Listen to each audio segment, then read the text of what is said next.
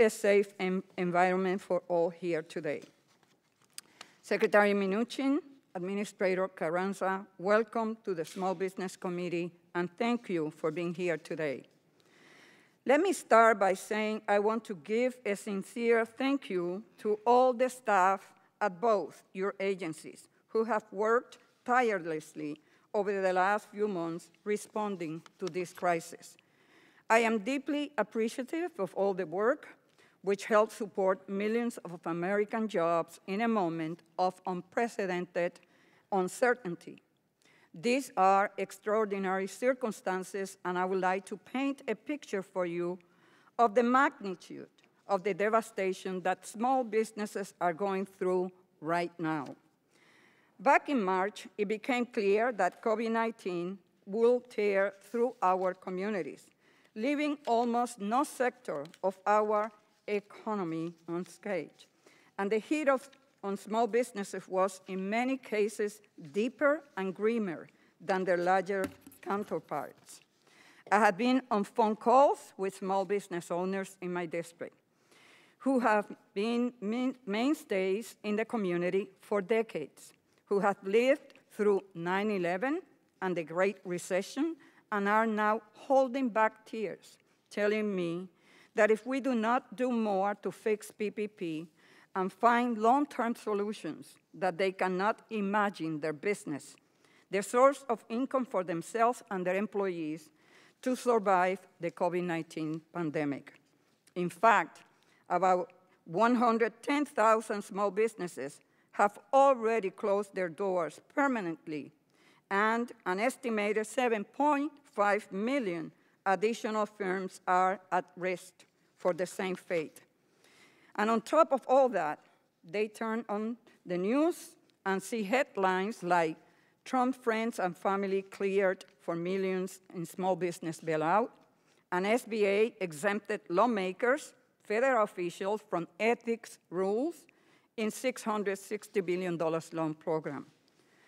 Let me tell you, that is a gut punch to the small businesses that this program was intended to serve the ones that didn't have the top-notch financial connections to quickly get a PPP loan. And while we are grateful to SBA for providing, for providing data that I have been calling for since the start of PPP, it is not secret that there have been errors that are cause for concerns. I am troubled by the Bloomberg News report that at least 226,000 loans were likely misreported by congressional districts, making it even harder for us to understand how businesses in our district fared in the program.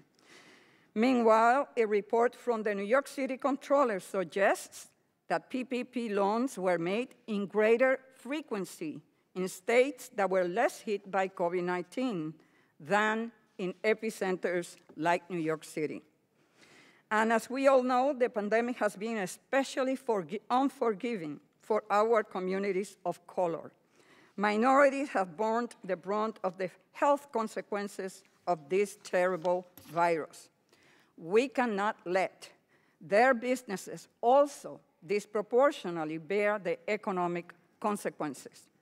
According to a survey, a mere 12% of Black and Latino business owners who apply for PPP loans reported receiving what they asked for, and nearly half anticipated being forced to close permanently in the near future. And we don't even know how Asian and Native, Native American business owners fared because demographic data wasn't asked to be voluntarily provided. That is why collecting demographic data on these loans was imperative. I will continue to press to set aside more resources for minority and women-owned businesses. And I hope that we will commit to do more for these businesses in what we are sure to be tough months ahead. I am sure you both can understand Many in our country are frightened. They are angry and they are hurting. We are here today to bring transparency and accountability to ensure that America knows they have a government that works as well for them as it does for the well-connected corporations and friends of this administration. As lockdown orders started in March, storefronts were shuttered and waves of layoffs were taking place. In response, Congress provided relief to reeling business owners and their employees. First, Congress established the, Pay the Paycheck Protection Program, or PPP, to provide forgivable loans to businesses and nonprofits for mainly covering payroll. Second, to help small businesses that needed financing beyond PPP, Congress enhanced SBA's EIDL program to get more flexible working capital to more business faster. Knowing that small businesses operate on razor-thin margins, Congress created the EIDL grant program to get cash into the hands of small businesses quickly to bridge the gap until their loans are disbursed.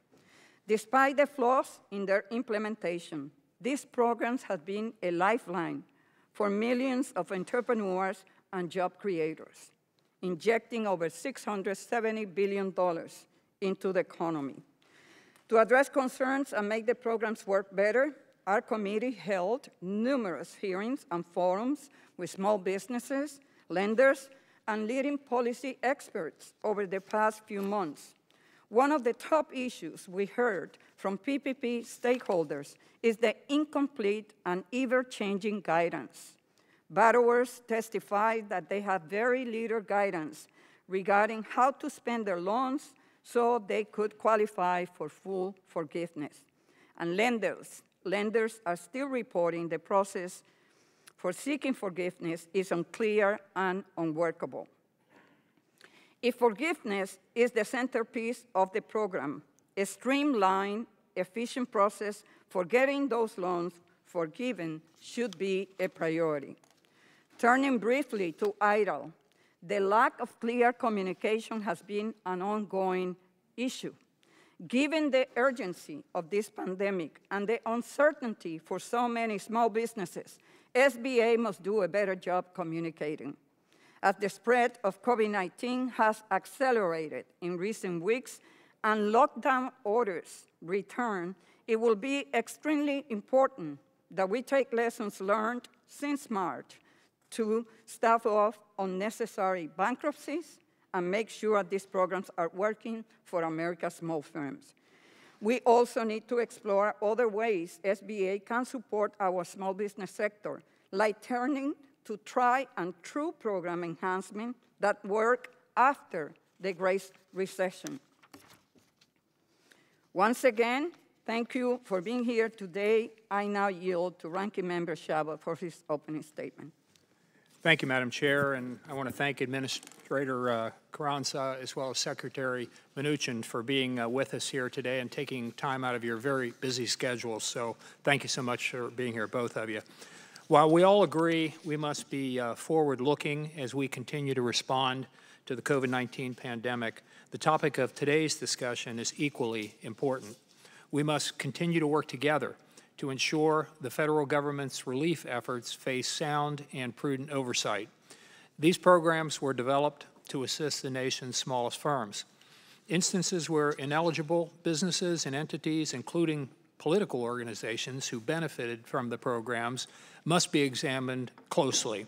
Take, for example, the over $300,000 taxpayer-backed loans uh, that were received by the Ohio Democratic Party in May.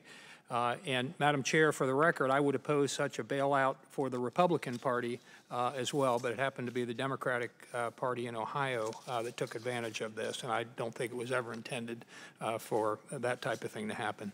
Additionally, oversight of how well the billions of dollars allocated to assist small businesses was utilized is imperative.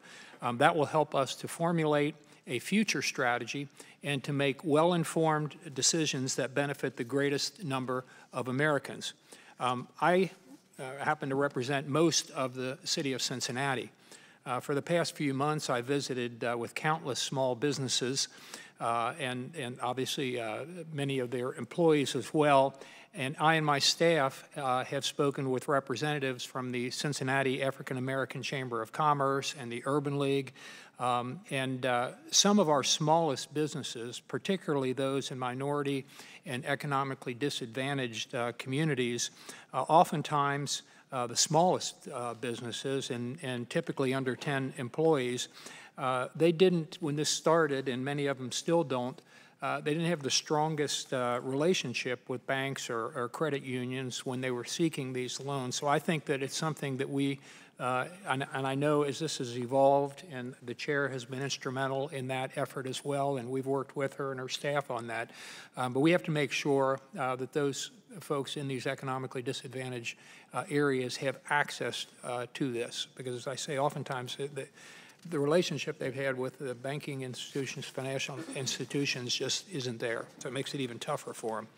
Um, now, it's impossible to legislate from Washington for every single situation across the country. Likewise, it's impossible to regulate from Washington for every scenario that may come up. Uh, all of the folks in this room recognize this and, and have been reminded since March of that structural uh, impossibility. Congress acted quickly earlier this spring. Uh, speed was paramount in getting funds into the hands of small business owners to keep them afloat uh, when they were forced to shut down through no fault of their own. Consolidating six months of legislative work in a little more than six days, uh, the Coronavirus Aid, Relief, and Economic Security, or CARES Act, was passed with overwhelming bipartisan support, Republicans and Democrats working together, and it was signed in, into law by President Trump on March 27th. This more than $2 trillion economic relief package delivered on our commitment to do everything possible to protect the American people from the public health and economic impacts of COVID-19.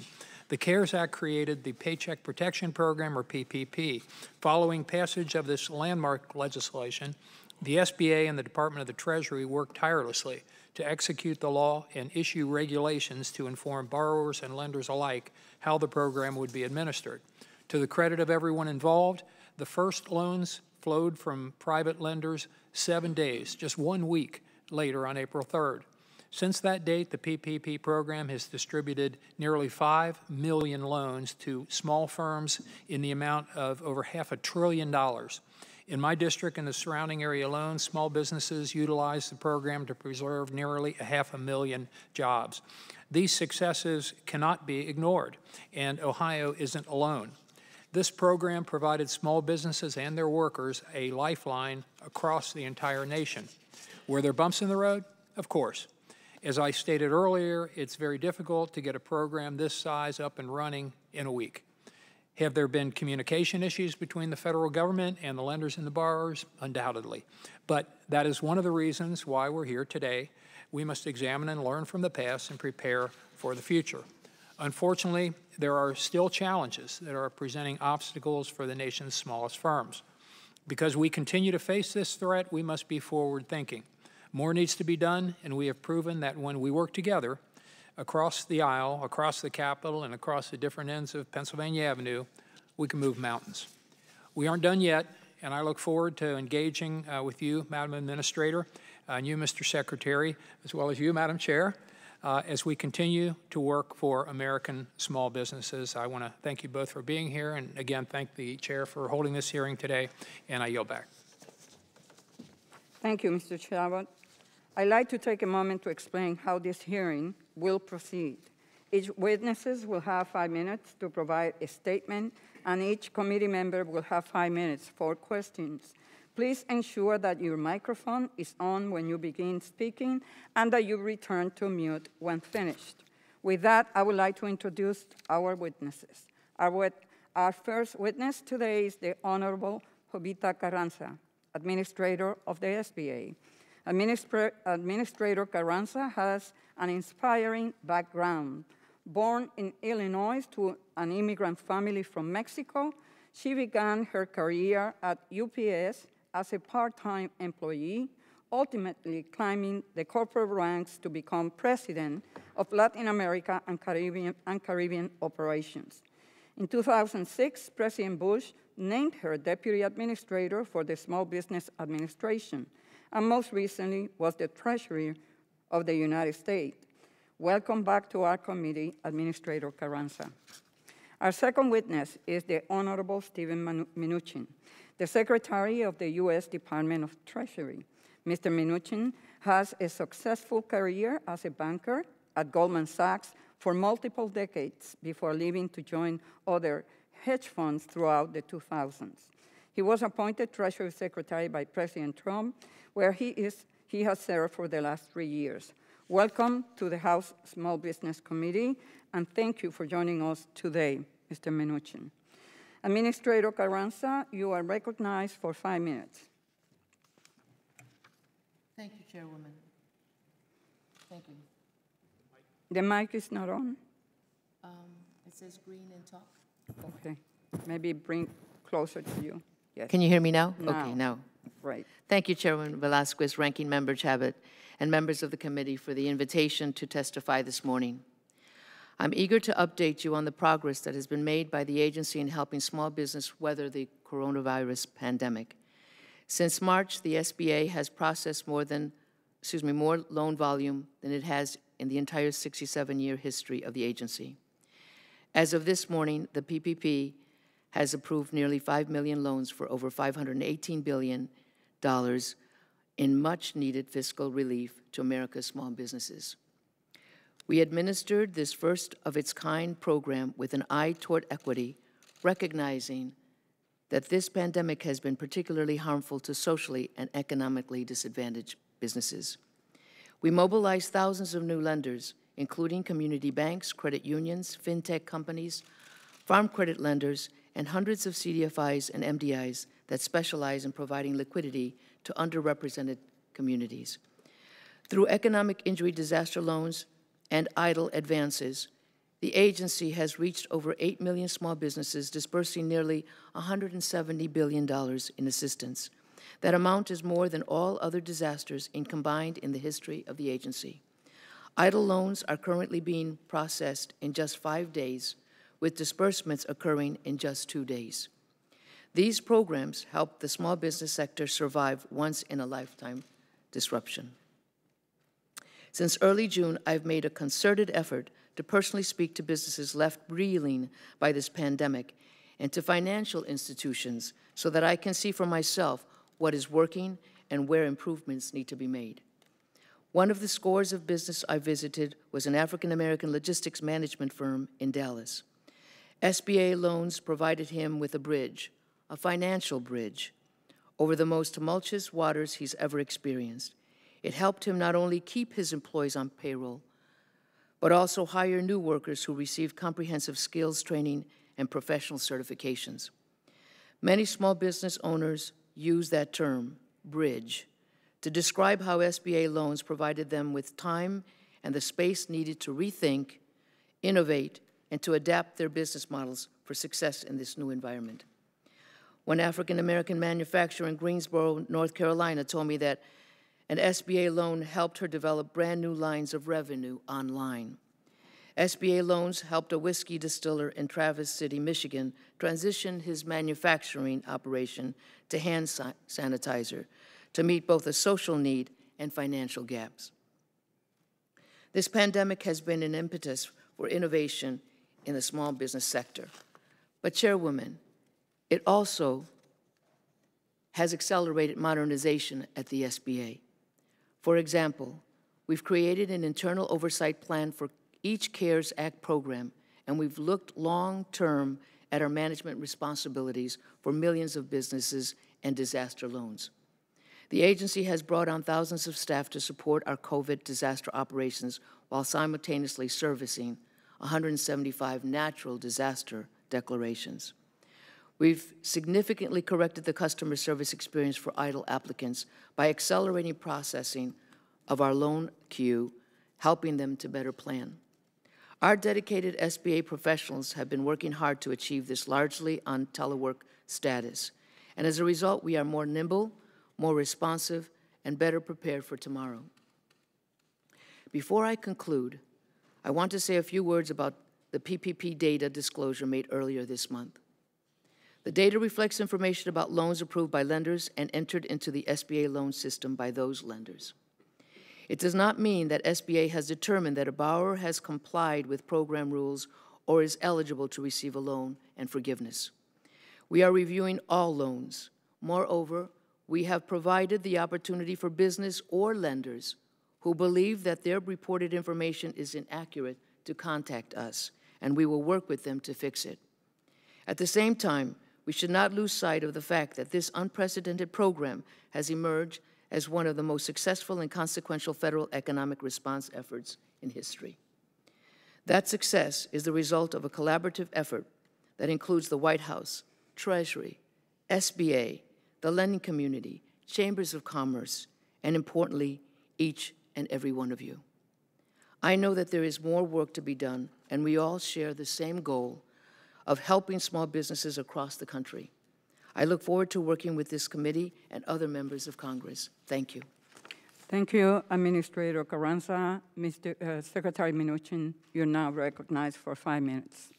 Thank you very much. Chairwoman Velázquez, Ranking Member Chabot, and members of the committee, I am pleased to join you today to discuss how the Department of Treasury and the SBA are working together to provide relief to business and their workers through the PPP. We remain committed to working together until every American gets back to work as quickly as possible. America's economy continues to recover from the challenges posed by COVID-19. For the second month in a row, the jobs report vastly exceeded forecasts with a record of nearly 5 million jobs. This brings the two-month gain to approximately 8 million jobs. While unemployment rate is still historically high, we are seeing additional signs and conditions of improvement. The Blue Chip report is forecasting that our GDP will grow by 18% in the third quarter.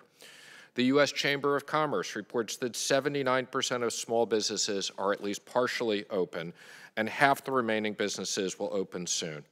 Retail sales rose by 18% in May and by 7.5% in June. But let me point out, June was actually 1.1% higher than the same June 2019. This is a result of all of our programs working with Congress. Investors and businesses have historically high cash positions and are beginning to put them back to work. We are in a strong position to recover because the Trump administration worked with Congress to pass legislation on an overwhelmingly bipartisan basis and provide liquidity to workers and markets in record time. In particular, the PPP is keeping tens of millions of employees in their jobs. Economic impact payments are helping millions of families. We are monitoring economic conditions closely. Certain industries, such as construction, are re recovering quickly, while retail and travel are facing longer-term prospects. We are sensitive to the fact that certain areas of the country are experiencing increased numbers of cases. The task force working with state and local officials is helping to ensure that people can work safely in this environment. We look forward to continued conversations with this committee and other members of Congress to address these critical issues. Turning to the PPP, the SBA and Treasury worked together to launch this in unprecedented time. We approved over 5 million loans for 517 billion to support the employment of over 50 million jobs. This is truly an extraordinary achievement, and we are pleased that the loans were broadly distributed and made across diverse areas of the economy, with 27% of the funds going to low and moderate income communities, which is consistent with the proportion of the percentage of the population. As you might expect, with a program of this magnitude executed on a national scale rapidly, we initially experienced some complications. We resolved them quickly. To implement the program, our teams work with members of Congress on a bipartisan basis to issue rules and guidance to provide clarity. By standing up the program quickly, we were able to support tens of millions of jobs. We have worked closely with members of Congress in both parties to pass three subsequent pieces of critical legislation. We also reached a second round of funding for over $300 billion. I look forward to these continued bipartisan efforts. A next phase of relief should extend the PPP, but on a more targeted basis for smaller companies and those that are especially hard hit, such as restaurants, hotels, and other travel and hospitality business. The Treasury Department is implementing the CARES Act with transparency and accountability. We've released a significant amount of information on our website, reporting on usaspending.gov, and updates to Congress. We are cooperating with various oversight bodies. Regarding the PPP, Treasury and SBA regularly released data. On programs, the Treasury and IRS have made data information regarding millions of economic impact payments available on their website and to the GAO. We are pleased that the Treasury, working with the Federal Reserve, has announced to add to existing disclosure on the liquidity facilities by posting additional information on the website. Chairman Powell and I have had productive discussions with the members of the Congressional Oversight Commission. In addition to the PPP, we had 160 million payments for the economic impact payments. We've made massive amounts to support air carriers. We've had 150 billion to the to coronavirus relief fund. The Federal Reserve facility is up and running. I'm pleased to announce that Main Street made its first loan for 12.3 million to doctors' offices consisting of 15 practices in Wisconsin. The lender was Starion Bank, a family-owned $1.2 billion community bank. There's a $50 million construction loan, which will save over 3,000 jobs in the working. I look forward to working with Congress next week on a bipartisan basis to pass additional legislation. I'd like to thank the members of this committee for working with us to help the American people, and I look forward to answering your questions. Thank you, Mr. Secretary. I will begin by recognizing myself for five minutes. Uh, Secretary Mnuchin, ethics rules were waived administratively in the PPP, allowing friends of the Trump administration to get access without any further review. Meanwhile, there are thousands of small businesses, many owned by women or minority, minorities, and located in rural areas that were desperately seeking assistance. Were you concerned about those optics? Well, let me just say, as it relates to uh, certain loans that the administrator said, there will clearly be loans that are reviewed for appropriateness. But let me just comment on the conflict of interest rules. I had very specific discussions with Senator Schumer and McConnell on the conflicts rules, and it relates to the direct loans from Treasury and the loans from the Federal Reserve. There were very specific requirements and certifications that were required from members of Congress and the administration. As it relates to the SBA program, uh, Congress could have included those same requirements but decided not to do so.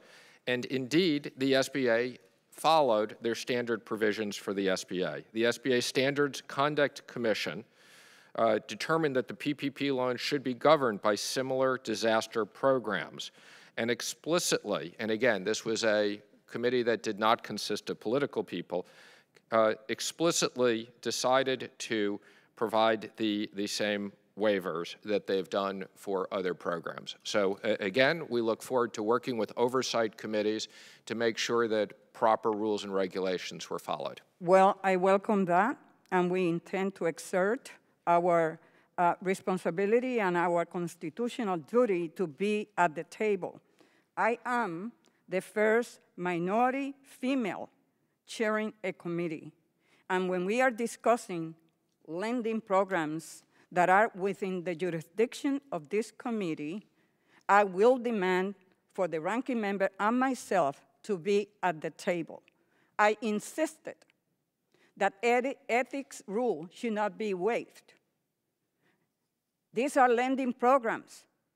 If it's good for the 7A and 504 and SBIC, it should be good for this type of lending. And I will insist on that when we sit down to discuss going forward.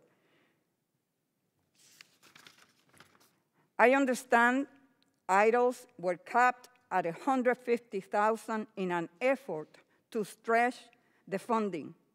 However, I ask you, Administrator, the appropriators asked you, and the Senate asked you on numerous occasions if you needed additional funding, and the answer was not.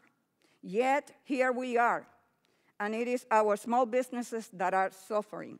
Moving forward, You must work with us, and I ask that you remove the cap for new item loans immediately and allow those with existing loans to obtain the capital they deserve. You still have $200 billion of loan-making authority left in the EIDL program, while small businesses are hurting. So help us help you, because members of this committee and businesses who came to testify before this committee, they said that they might remain open, but will not be able to keep those businesses open because when they were thinking that they were apply for the maximum allow, allowable loans, then you reduce to 150,000. We need to do better than that. This is not going away, and too many businesses are suffering. Mr. Mnuchin, the pandemic has caused the rate of black-owned businesses to drop by an astonishing 41%, and the rate for Latino-owned businesses by 32%. These numbers are unacceptable and are only going to get worse unless we act now. Amid reports, shouldn't we set aside a percentage of the remaining funds for small businesses that need it most? I just heard you saying that uh, you are going to ask for hotel, restaurant, the traveling industry. What about minority businesses? I agree with you. There should be a set aside for small minority businesses. Thank you. Thank you. So I can count on your support that we could set aside funding for mission-based lenders because, you know, we are discussing here small, the smaller of the small businesses who have no connection, who has no pre-existing banking relationships with those financial institutions. Those who have relationship are mission-based, like CDFI, like MDI, like macro, uh, micro lenders. And I hope that we could, uh, going forward, um, work with you on that issue.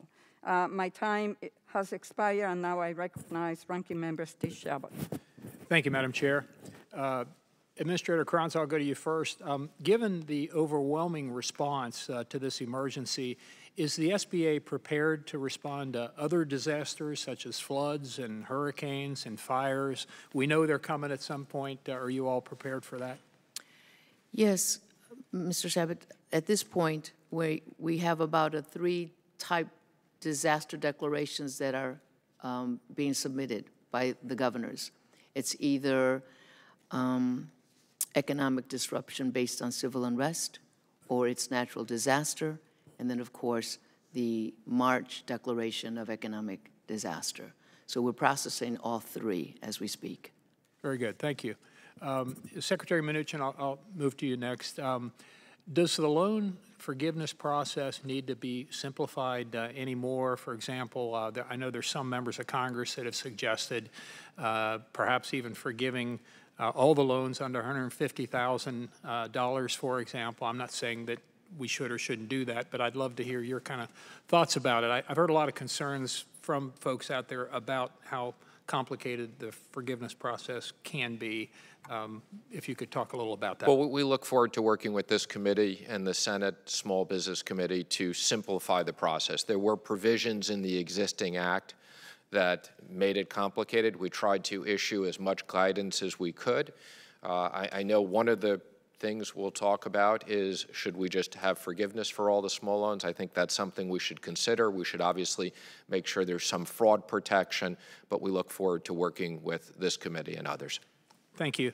Um, as you know, at this point, there's approximately $130 billion uh, that's still in the PPP uh, program. So everyone's talking about, so what do we do with that? Uh, you know, do we reduce the number of employees eligible from, say, 500 down to 100, or do we stick with what we have? Do we do a, a second PPP? And I know these are negotiations uh, that everyone is having now, uh, including the administration, the House, the Senate, this committee, and others. Uh, what, what are your current thoughts about that? The, the administration supports using the existing money and topping it up with some additional money, and that, that will be discussed, and allowing for a second payment to the businesses that are especially hard hit. And, and Chairwoman, let me, let me just say, I was only giving examples of businesses. I didn't mean to any way imply that those are the only businesses that are hard hit. I think this time we need to have a revenue test and make sure that money is going to businesses that have significant revenue declines. That's something that Congress didn't have in the first provision. So, but make sure that the businesses that are especially hard hit, particularly small businesses, and put in certain safeguards. So some of the types of people we saw that took out loans, and, and I look forward to working with Congress. If Congress wants to put back in the conflict rules, we're more than happy to work with Congress. The administration supports, we will participate on the same basis of, of the House and the Senate. And let me, uh, Secretary Mnuchin, also, one of the things that uh, I, you all were, were operating under uh, impossible time constraints. You know, we passed this, I was at the signing ceremony on a Friday. The next week, the loans were literally going out the door, although not that many, and it wasn't glitch-free. We all know that, but uh, you all got your act together pretty quickly and, and saved a whole lot of businesses all across the country, and God bless you all for doing that. And this committee was involved in it, many others as well. Um, but I know one of the things that was, was frustrating, and again, I don't want to be critical here, but was frustrating, I, I heard this from lenders, I heard this from small business folks, I heard it from our staff, was just uh, the time it took to get the guidance out so people knew what the rules were, what we were all operating under. Um, do you have any thoughts for the future as to what we might be able to do uh, Sure. Well, let, let, let, me say, you know, in one of the more ridiculous statements I've ever made, I committed we get the program up in two weeks. And working with the SBA uh, and the staffs, we were able to do that. Now, obviously, in doing that, it ran into a lot of issues, but we made the judgment. It was more important to get it up and running quickly, that sending money to people four months later wasn't going to help small businesses now that we have it up and running, especially to the extent there are minor changes to the PPP and the EIDL programs, working with the SBA, we can get the guidance out very quickly. We won't have the technology problems we had last time. And uh, again, I would encourage this committee to work in the context of these programs and put more restraints. The other thing I think you should consider on the EIDL is now that we have Main Street open for loans above 250,000, that we really do focus EIDL on loans that are 250 and below. Thank you very much. My time's expired, Madam Chair. Gentleman's time has expired, and now we recognize the gentle lady from Iowa, Ms. Finkenauer, for five minutes. Thank you, Madam Chair. Uh, I appreciate you holding this hearing. And um, I so just for the Secretary Mnuchin and Secretary Secretary Carranza, for you guys to understand, the district that I represent um, is uh, in Northeast Iowa. It is has three bigger city centers, and the rest is pretty rural. And our district has been hit very hard um, on a number of levels, whether it's been the attacks on our agricultural community over the last few years, um, or now this pandemic and how it has affected not just our cities, but also our rural areas as well. Um, and one of the things I want to touch on, uh, Secretary Mnuchin, I know you brought this up, um, but really want to dive into this are those economic impact payments. Uh, those direct assistant, assistant payments that are important for individuals who are worried about how are they going to pay their mortgage, their rent, put food on the table, but also for our local businesses as well who have been able to stay open uh, to have some sort of economic stimulus here during this pandemic. And one of the things that I was really concerned about um, is when these went out to folks, um, obviously, if, if they had their direct deposit set up, those went into their accounts, most of them. However, we heard from 700 people within my district about these payments who did not receive them or they received them, but they were in the debit cards and didn't realize that they were these economic Im- impact payments. And so, why was this set up the way that it was? Why was there no I mean, no real um, communication out to these districts, out to folks who needed to understand um, how these were coming out. And then also, I know we wrote you a letter, actually, Secretary Secretary Mnuchin, um, about the fees and reissuing these cards because so many folks were throwing them away. Um, I'm glad you listened and decided to waive uh, that 750 charge for replacing. But uh, why does it cost $17 to priority ship these cards to folks? Um, why do taxpayers who need their money now have to wait longer and it costs them more? Um, this is just something, again, that needs to be dealt with. And I'm glad you fixed a piece of it. But what are we going to do down the road when hopefully we issue more support to folks and actually have that education? And why was this done in the first place? Well, th thank you for your comments. And, and let me just say, uh, the fact that there were 700 of those in your community is, is inexcusable. And if you have specific issues, we're happy to follow up. I, would say the IRS and fiscal services did an extraordinary job in sending out over 150 million, again, in a record period of time. The debit cards, you did point out something. We didn't realize that the debit cards were sent in unmarked envelopes. Uh, we will correct that going forward. I, I, do think the debit cards actually was an interesting addition for two reasons. One, it allowed us to get payments out quicker since we could only create so many checks. And two, going forward, debit wait, cards. I, am sorry.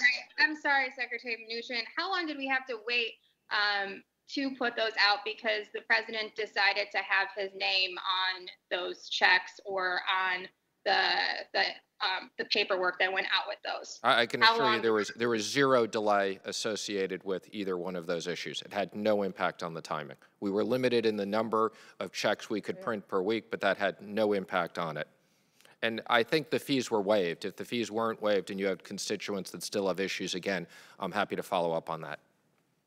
Yeah, the fee of 750 to replace was waived, but then there's the $17 that, that cost for the priority shipping of the cards. You, you let me know and we'll follow up. That should be waived as well. Yeah. Thank you. Um, and then I also have a question about the PPP program. Obviously, this has been incredibly important all over the country and in districts like mine. But I have to be honest, I was really disappointed at the beginning when this rolled out. I mean, we we allocate these dollars and then they go to these agencies so they go to sba they go to treasury to set up how these are doled out and communities like mine, quite frankly, were left behind because we have the highest concentration of community based financial institutions in the entire country within my district. And so the, the first batch essentially went to big banks and people who were connected with their banks and left out communities like mine. Did either of you think about how this would impact our folks who lend with community based financial institutions? Why was this done the way that it was at the very beginning? And how can we ensure? I know we have that set aside now for those dollars, but how can we ensure that as we continue to look at this that we are doing what we should here with these agencies to make sure we don't forget about rural areas? I mean on the sba i understand as well um, that we lost the head of rural affairs during this. Actually she got moved. I know we're you know short on staffing to deal with this but not the time to move somebody that represents rural time areas time has expired fighting um, if you wish uh, to answer the question, sir. Uh, I, I, can assure you we, we are very focused in making sure that the community banks and the CDFIs have equal access, and you're correct. Uh, unfortunately, there were issues in the beginning. We corrected it very quickly. Thank you. The gentleman uh, from Ohio, Mr. Balderson, is recognized for five minutes. Thank you, Madam Chair. Uh, thank you both for being here today. Uh, my first question is for the administrator. Uh, thank you again for being here today, administrator. I greatly, greatly appreciate your leadership through this pandemic. I would also like to convey to you that your local office in my district, Columbus, Ohio, SBA, uh, has been a phenomenal partner and resource for me. Uh, we have been doing a back to business tour for the last three weeks. Uh, Everett Woodell from your office has been with me al along the way and his team, and, and we're very grateful. And to see the business owners that encounter the SBA while we're there and to put a face with the name is, is, is very pleasing for them as well. So thank you. Thank you. An issue that I've heard more and more about from my constituents is the lack of clarity on PPP forgiveness. Specifically, I hear this often from business owners looking to have their businesses bought out. This could be because of the pandemic or a planned sale prior to COVID 19 that's been placed on hold because of the virus. In this situation, the business owner took PPP in order to support their employees, and now they cannot sell their business with this forgivable loan on the books. Why is this? Thank you, Congressman. This is a situation that I'd have to speak with you personally or i- i- and address the particular case, because um, this is news to me about um, them taking a PPP and then wanting to sell. It's not, it's not a, a, um, a uh, new incident where small businesses that are ready to sell because they don't care to go through another pandemic or another crisis, they're in a position um, and interested in selling their company, but the PPP or the EIDL loan issue was not raised when we had those discussions. But I have experience similar to you that there are businesses that are ready to sell. Um, But I'd have to look into, and I'll concur with the, with the uh, Treasury, on how to manage that situation where, in, in the forgiveness, we haven't addressed that at this point. A- An entity wanting to sell uh, their firm and they have a loan. We, we, we will work with you on that. Um, Yes. In, the- in the business, one, for example, that I, I've been um, in communication with, they were doing an exchange in, in January before the pandemic hit. So this is, most of them that I've been in, in contact with have been having this issue before the pandemic even started. So um, we will work with your office uh, and address that. Thank you very much. Look forward to it. Mr. Mnuchin, thank you. Uh, My next question is for you. I've introduced legislation with my colleague from uh, across the aisle, Congresswoman Brenda Lawrence, that would provide a tax credit for small businesses to purchase and install PPE and related safety equipment. This legislation would help small businesses that are suffering financially under the weight of mandatory closures be able to afford the personal protective equipment required to reopen their doors. Are you open to working with myself and, and Ms. Lawrence to ensure small businesses are safely prepared to welcome customers again? Yes, absolutely, and, I, and I'm not familiar with the specific legislation, but I like the concept a lot. Appreciate it. It's up to $25,000 tax credit, so thank you. Look forward to that. Administrator, uh, back to you. If a business owner decides to use personal finances, monies that's not associated with their business, to pay off their PPP loan in order to move forward with the sale of business, they just have to eat this as a loss? And, and again, that may be something that you and I may need to sit and discuss. Yes, I agree. I, I have to understand all the nuances to that particular situation. Understand. And also perhaps um, there's other businesses that may be facing the same thing that we need to look into. Thank you very much. Welcome. Mr. Secretary, my last question is for you. I greatly appreciate your leadership. I mean, it's been fascinating to watch you. Uh, As we look towards the next aid package, much of the focus seems to be on providing aids to schools, hospitals, and first responders. I support these efforts, but also believe we must continue consideration of America's economic engine, small business. And I know that Madam Chair and Ranking Member Chabot have both talked about this. What types of considerations for small businesses and workforce development efforts are also being considered? And I didn't leave you much time, Mr. Uh, Secretary. but V- v- various items, but again, I think that's something that should be considered, and we look forward to working with you. Thank you, sir.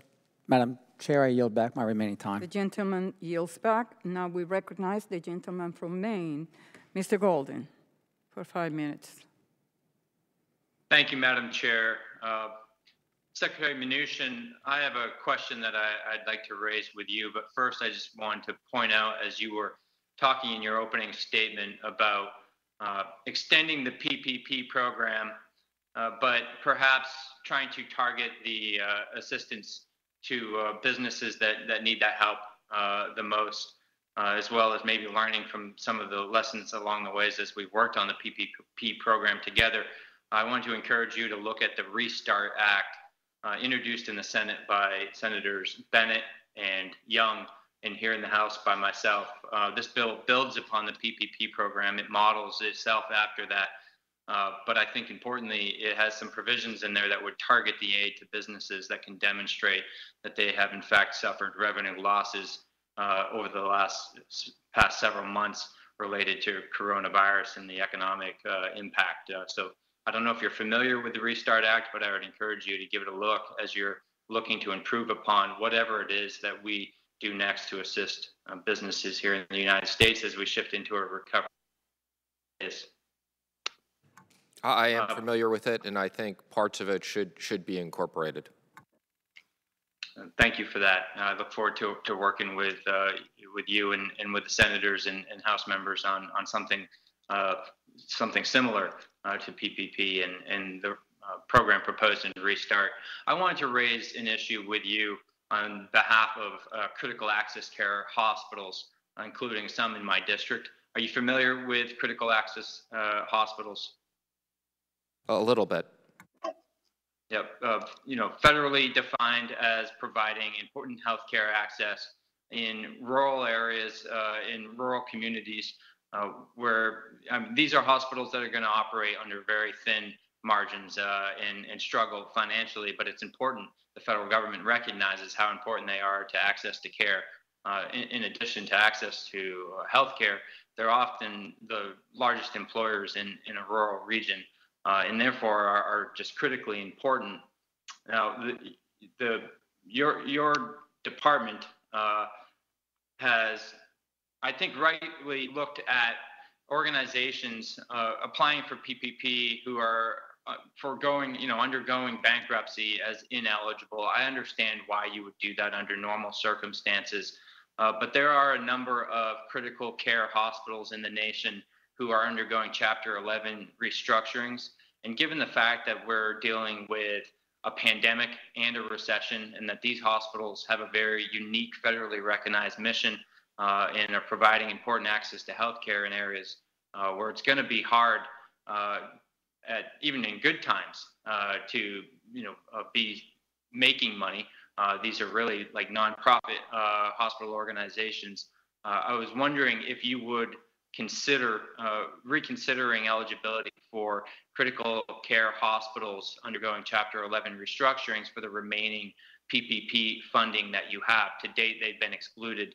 And you can imagine during this pandem- pandemic and the recession, uh, the fact that they couldn't uh, do certain types of uh, you know services uh, that they normally would be doing, uh, they're really struggling, and, and several of them uh, are at risk of closing, which would be a terrible loss for these communities. I'm, I'm very sympathetic to those types of hospitals, and we look forward to working with you and considering that. Well, I, I appreciate that very much. Uh, as you know, you know, you, the, the, Treasury and SBA have been able to make some changes uh, in the program for eligibility for organizations to include uh, some nonprofit hospitals that are tax exempt under Section 115 and hospitals owned by uh, state or local government uh, as well as others. But I think that um, you know, those, those jobs obviously very important in rural communities, but even more important is ensuring the access to care is, is preserved. Uh, and they they have been applying for PPP. They were rejected. Uh, in some instances, some of these hospitals have gone to courts uh, who essentially have said that the uh, determinations made by the Treasury uh, and SBA would have to be changed, or Congress would have to act. So I don't know if you think that you need uh, some kind of legislative action, or if you think that you have the authority you do to look at this and make that change yourself. But uh, I want to thank you uh, for working with both my office, but also Senator King and Senator Collins uh, from Maine, and I'm sure other senators who represent similar hospitals in a similar situation uh, are eager to work with you to try and, and help these hospitals.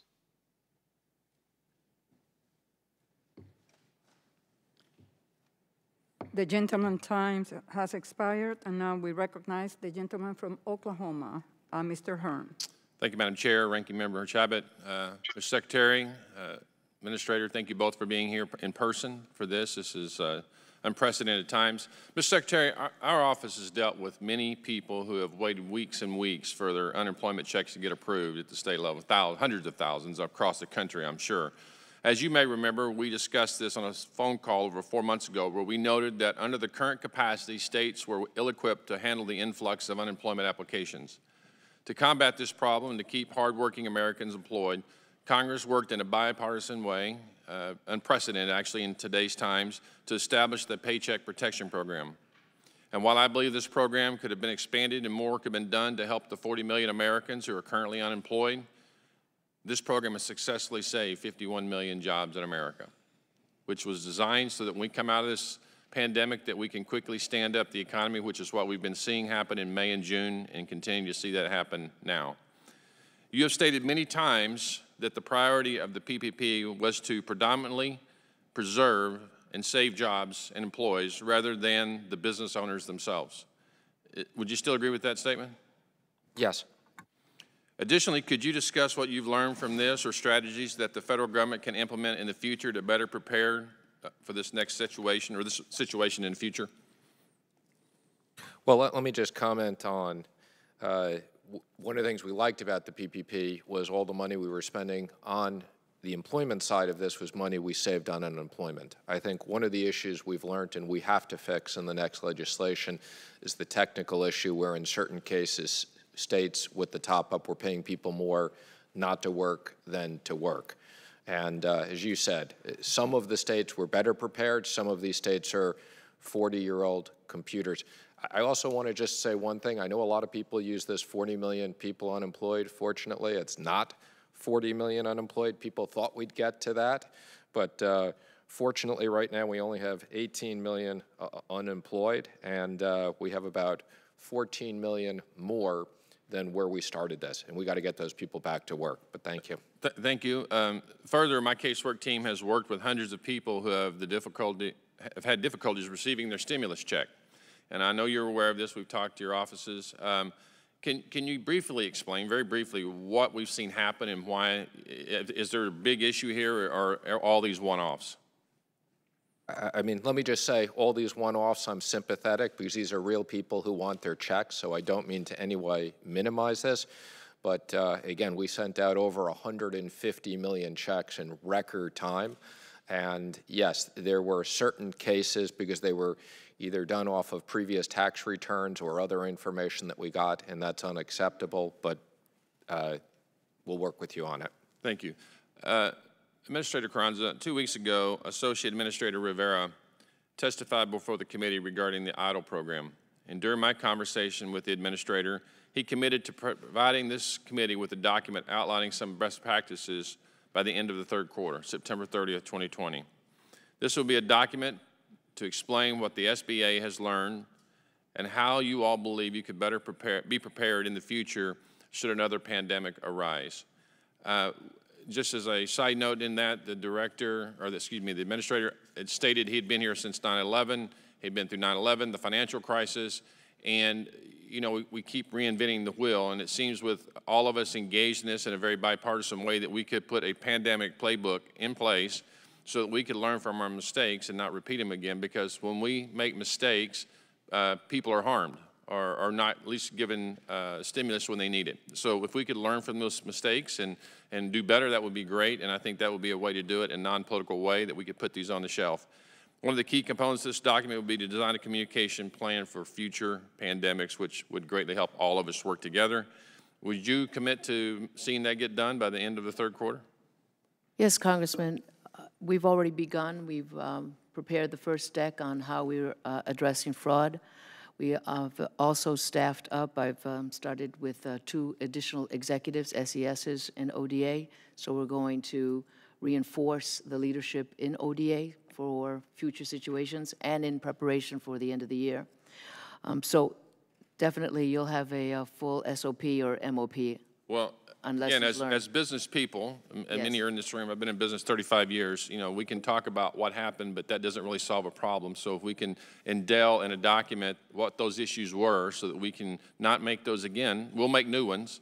And that's, that's human nature, but if we can get that done, that would be great for us. And Madam Chair, uh, Ranking Member, I thank you for allowing us to have this meeting, and it's very important. And thank both of you for being here and for what you've done in these unprecedented times. Thank Look you. forward to continue working with you. Thank you. Thanks. Gentleman's time has expired, so now we recognize the gentleman from New Jersey, Mr. Kim, for five minutes. Thank you, Chairwoman, for convening this hearing. Thank you to the witnesses for showing up. Uh, Secretary Mnuchin, I wanted to start with you. Uh, you rightfully noted in your testimony that small businesses are continuing to face a dire circumstance right now. Even those that have received Paycheck Protection Program loans are telling me that they're, you know, they're unsure whether or not they're going to be able to survive. And there are a lot of concerns about just the bigger state of our economy and whether or not our economy is going to be able to pursue through these coming months. And, uh, and if not, is that going to have a negative impact on our small businesses?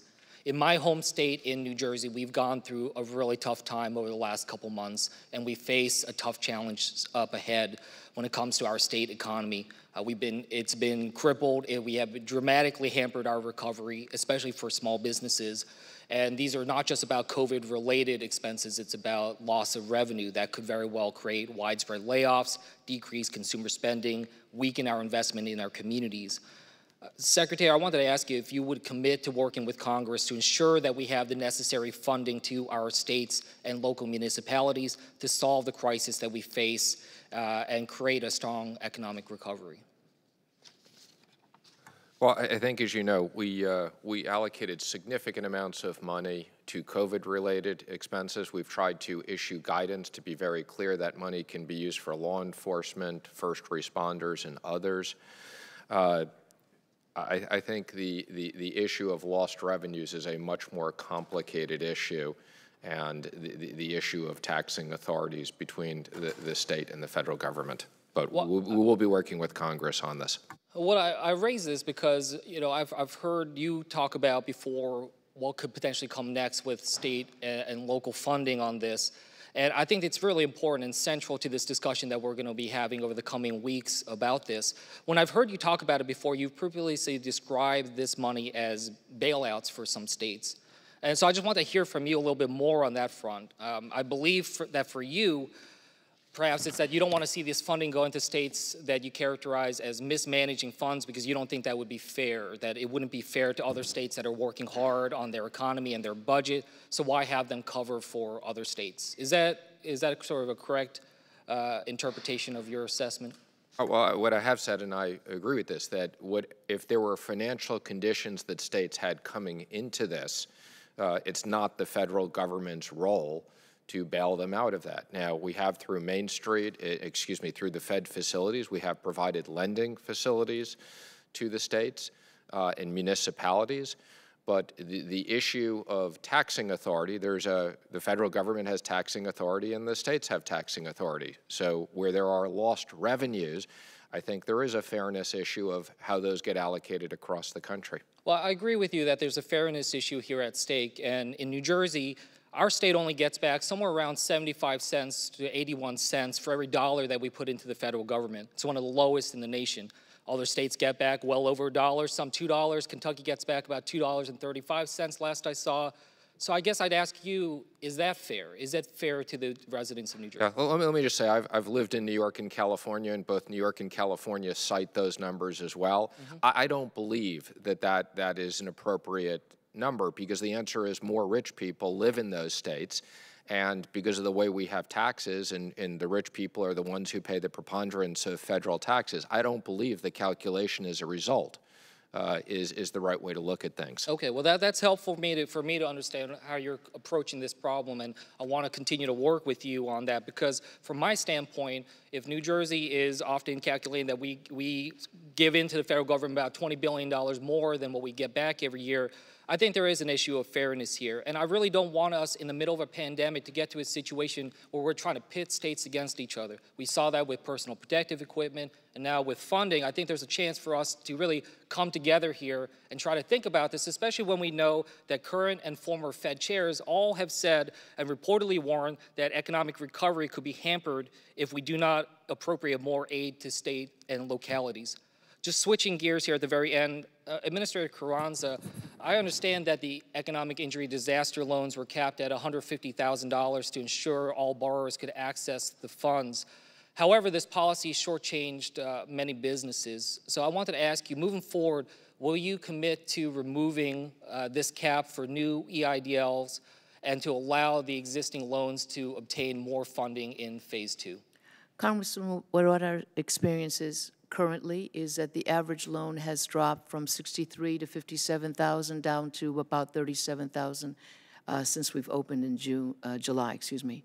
And so at this point, um, the operating expenses that people apply for are not, are not hitting the cap uh, in great numbers. About 1% of the applicants are, are pursuing that amount. 80% of the loans that we have processed come in significantly under the 150,000. But I will continue assessing it. We're reviewing that on a daily basis, Congressman. So I look forward to working with your office. Thank Would- you. Would you yield? Uh, If there's any time, that- Thank you. well, we, we are over time.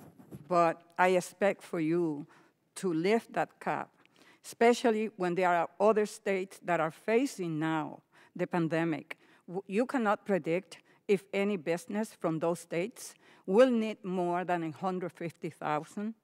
So the fact that now from the, the, uh, those other states, you're not getting those type of applications or that type of amount doesn't mean that that will apply to every other. Businesses should have the opportunity to be able to apply for over 150,000 if that is what they need. Congresswoman, at this time, since we opened up the portal, we have an additional 5 million applications. We have probably about 14 to maybe, excuse me, 15 to 20 days remaining with the remaining funds. So if I keep that level of 150, I, may- I will be able to service 5 more million Sure. small businesses. But from the beginning, appropriators, myself included, Senator Cardin, and some of the senators asked you if you needed more than what we included in the bill. And you said yes. So come to us. Tell us when we ask if that is enough. Yes, I will work with your office. Thank you. And now we recognize the gentleman from Minnesota. Who is, who is Thank you, uh, Uh, Mr. thank Stauber. you, uh, Chair Velázquez Yes, and uh, Ranking Member Chabot. I also want to thank the two witnesses for being here today. Uh, So Secretary Carranza, this kind of follows uh, what uh, the chairwoman just uh, talked about. Uh, I first like, I first like to share with you some concerns that I've heard from my constituents, and it uh, seems that the SBA has taken some liberties to reduce the cap of loans given out from uh, 2 million to 150,000. Well, this is likely to ensure the maximum number of businesses uh, receive some sort of funding during this crisis. My constituents are rightfully upset.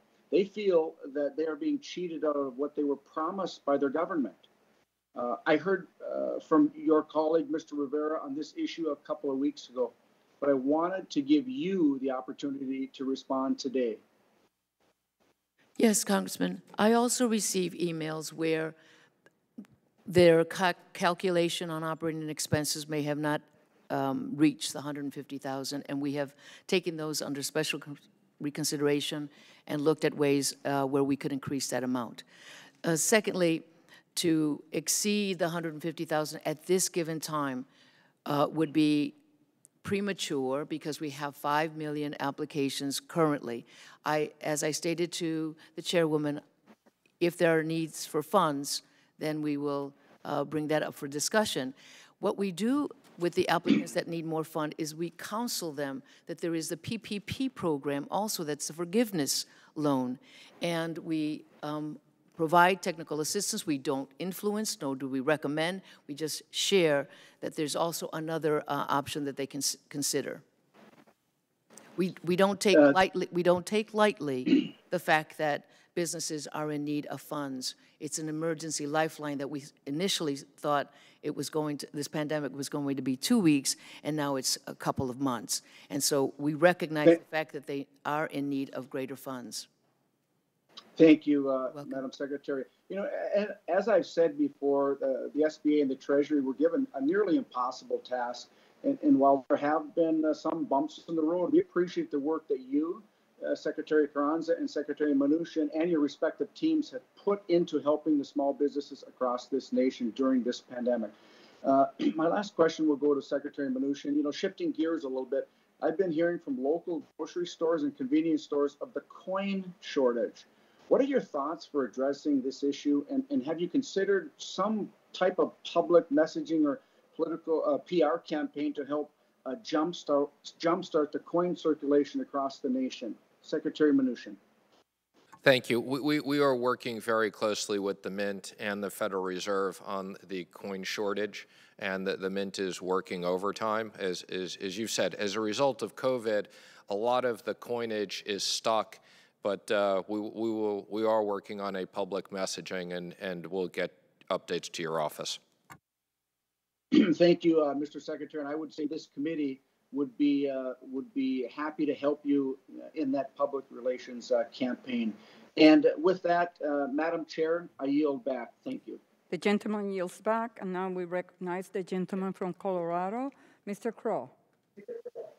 Thank you, Madam Chair, and thank you, Administrator Carranza and Secretary Mnuchin for joining us today.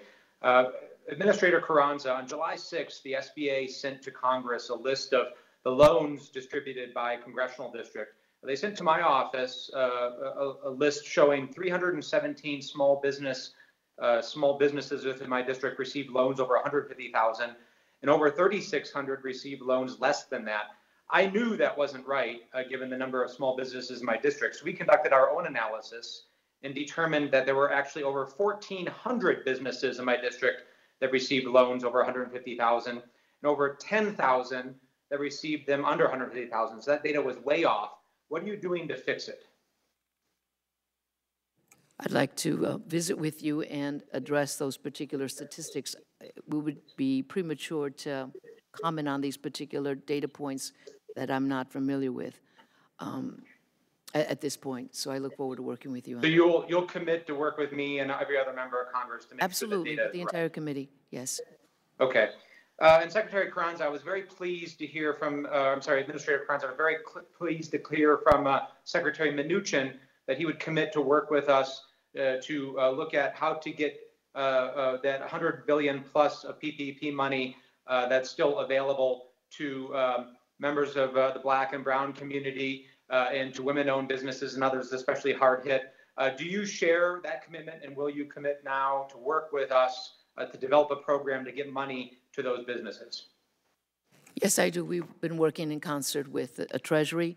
We've worked uh, together on the CDFIs, the credit unions, the savings and loans, um, the fintech organizations. Many of these community banks are the ones that are very specialized in providing funds to these particular underserved communities. So we're working in tandem. Definitely, I agree with. Thank you. Secretary. I, I, appreciate that. Thank you. Thank you. I appreciate that commitment, uh, Administrator. Secretary Mnuchin, to you, uh, you've had a long career in investment banking and banking, correct? I, I haven't been in investment banking in close to 18 years, but I've been in banking. In banking. Uh, and, and when you were in banking, you advised your banks uh, on where to send money and to whom to, to give loans and funds to, correct? No, I, I, didn't. I had a regional-based bank. I didn't advise where to give money. Uh, I, I served on a loan committee, but we, we gave. Your banks would make decisions across, across though, the where board to in the send community. money to whom to give loans to, correct? I'm sorry, I couldn't hear you. Could you repeat that, please? Your banks would make decisions as to where to send money and to give loans to, correct? Well, customers, again, customers applied for loans and the bank made credit decisions.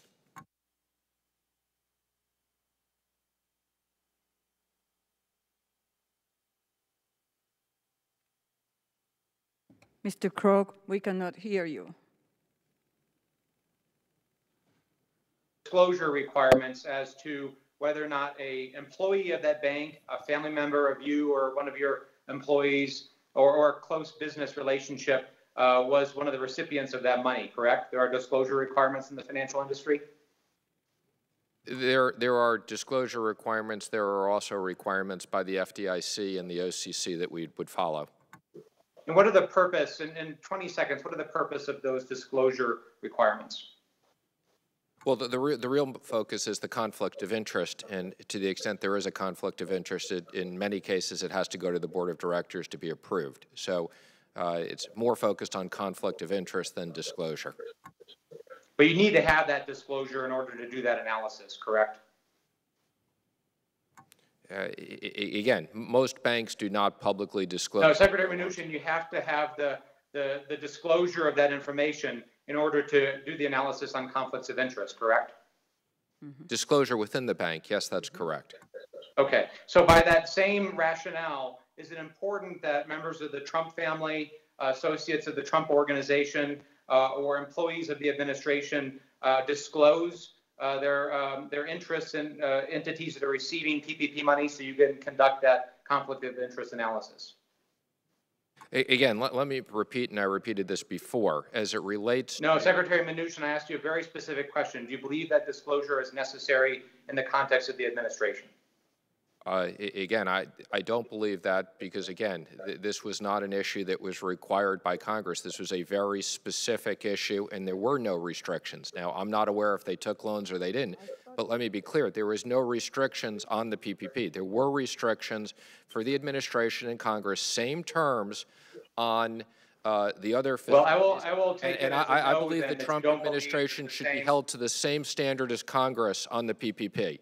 So there were. but, but they should not be held to the same standard that your banks in the financial industry was held to during your career.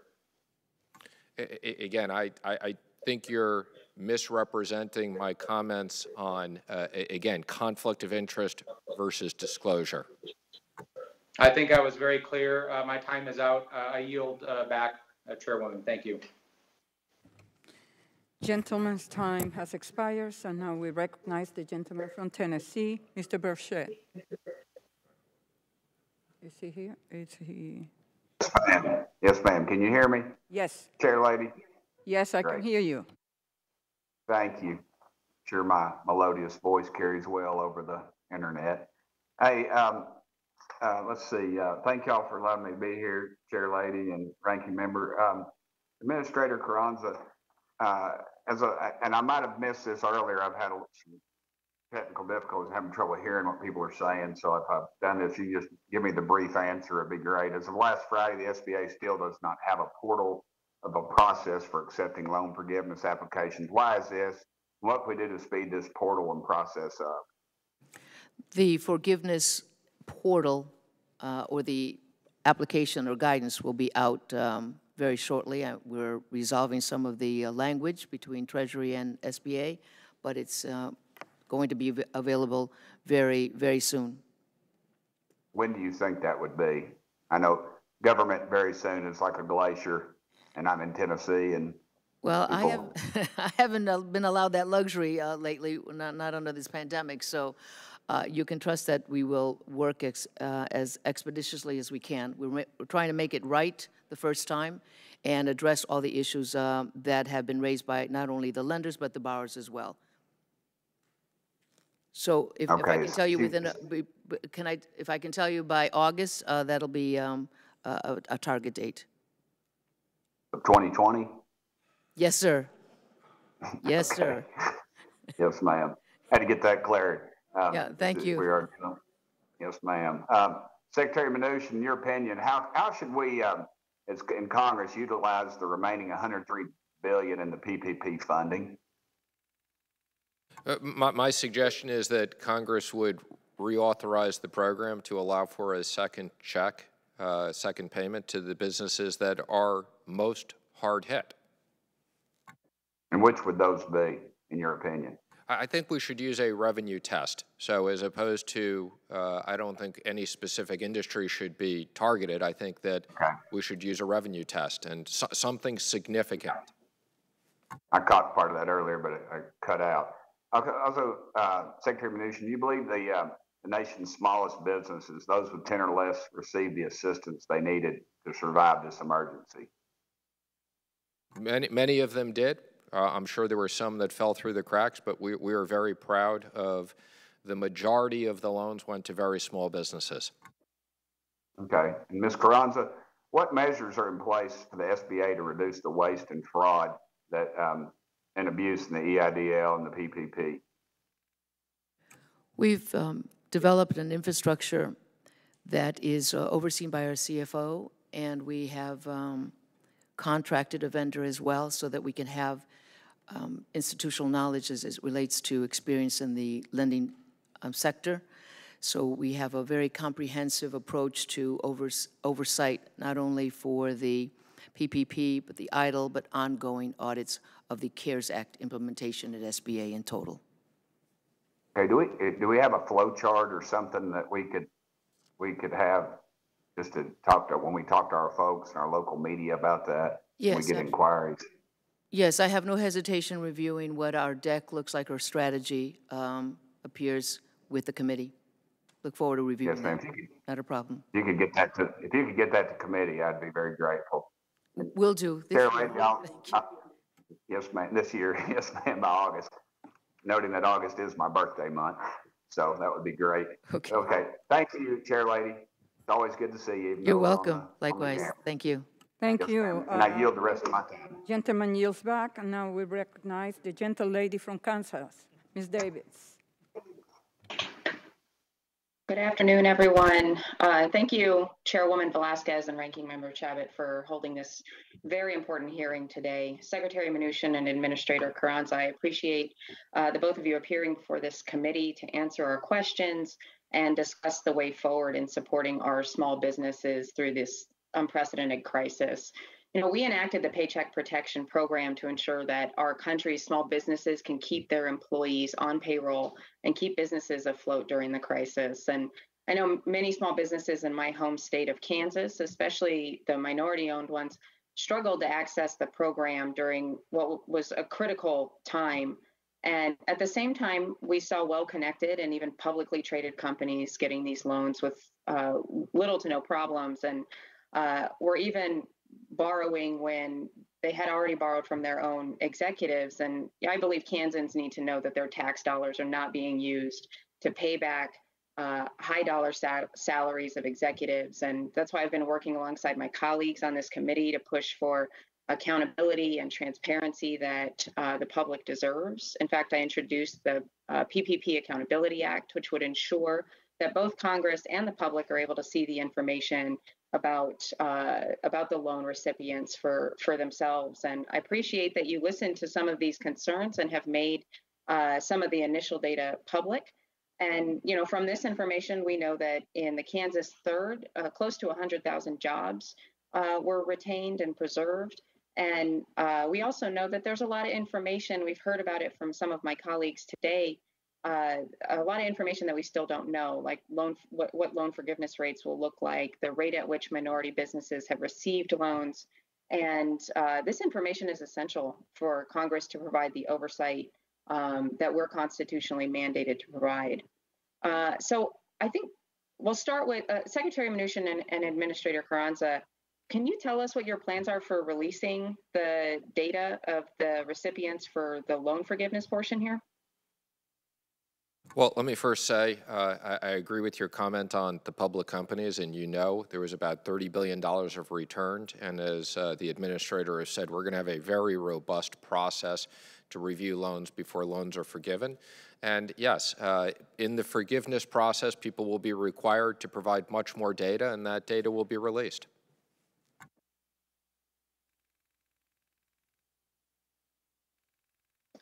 Well, so can we I know you had mentioned earlier, and it was highlighted a couple of times that there's a definitely a commitment to making sure that uh, minority-owned, women-owned businesses, and some of the most marginalized uh, or disadvantaged small businesses out there uh, should be getting access to these loans at the same rate as everyone else. And uh, you know, some of the fields included in the data uh, are optional. And when we talk about how many jobs are saved through loans and demographic information about the ownership of the business um, being optional, I'm curious what your plans are to evaluate the effectiveness and reach of the program uh, without this information. And I, I, appreciate the commitment that you have to.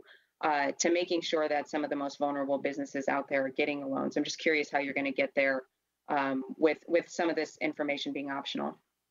Well, the the jobs numbers will be required. So you know, when people apply for forgiveness, they're going to have to be very specific in how much money was used for payroll and the number of jobs. So that will be required. As it relates to demographics, uh, this is optional. There, there are legal issues associated with forcing people to have demographics. As I commented in my opening testimony, uh, we have looked at low and moderate income census tracts, and, and, we're pleased that money was distributed proportionately, but we look forward to working with you and the committee on transparency and, and collecting more of this information. Well, I appreciate that. And I know that uh, this has certainly been an iterative process, particularly when we're thinking about the rollout of the guidance and the rules around these programs.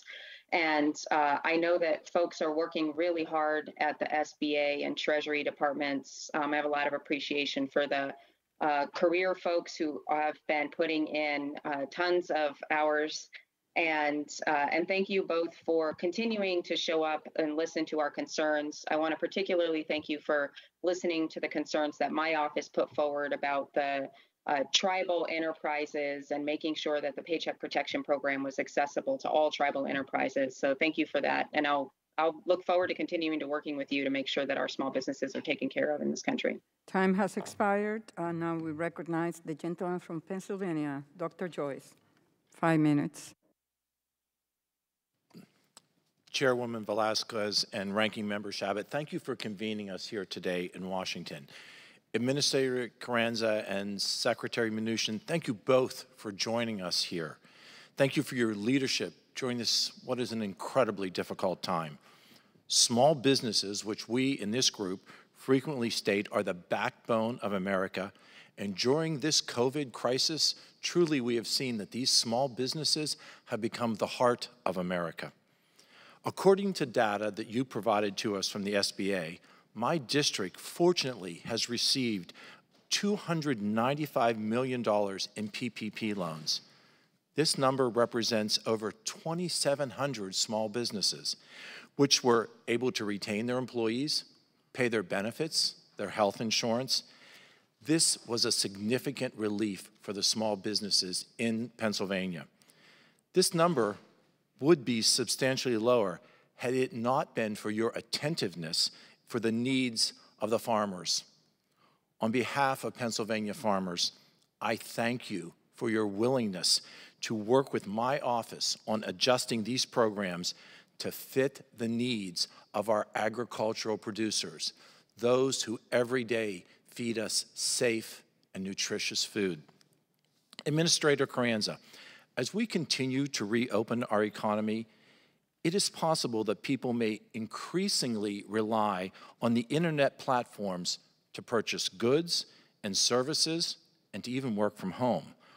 While these platforms provide enormous opportunities for small businesses, this transition could further stretch the digital divide between urban small businesses and access to affordable and reliable broadband in the rural areas who have less reliable internet options.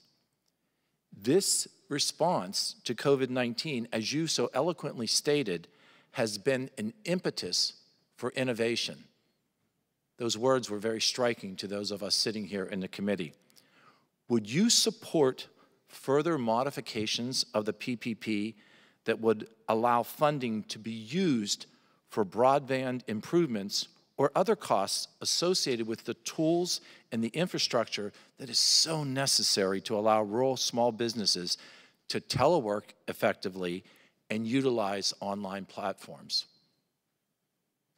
Congressman, I've always been a strong proponent of cost-effective broadband for the rural areas and the most underserved markets. And so I look forward to working with your office to continue that discussion. Yes. Thank you, Administrator. So those in our rural areas can more readily access the necessary avenues of commerce. Thank you for this consideration and thank you for allowing us to continue this discussion and evaluate the use of PPP to support rural broadband. Secretary Mnuchin, thank you for acknowledging that utilizing the remaining funds in PPP can positively affect small businesses that have been and continue to be drastically affected by COVID. Thank you for focusing on different businesses and considering the additional economic impact and qualifying by economic impact on the businesses. I think that's a reliable model that will allow us to move forward and effectively utilize the remaining PPP funds. Thank you for your continued work with us, Secretary Mnuchin, and for the efforts to return those remaining workers to their jobs. Do you feel that utilizing the additional PPP resources will allow us to continue to see those additional workers return to full employment. Yes. Thank you both for being here today. Thank you for continuing your work, and I yield the remainder of my time. The gentleman yields back, and now we recognize the gentleman from Maryland, Mr. Mfume.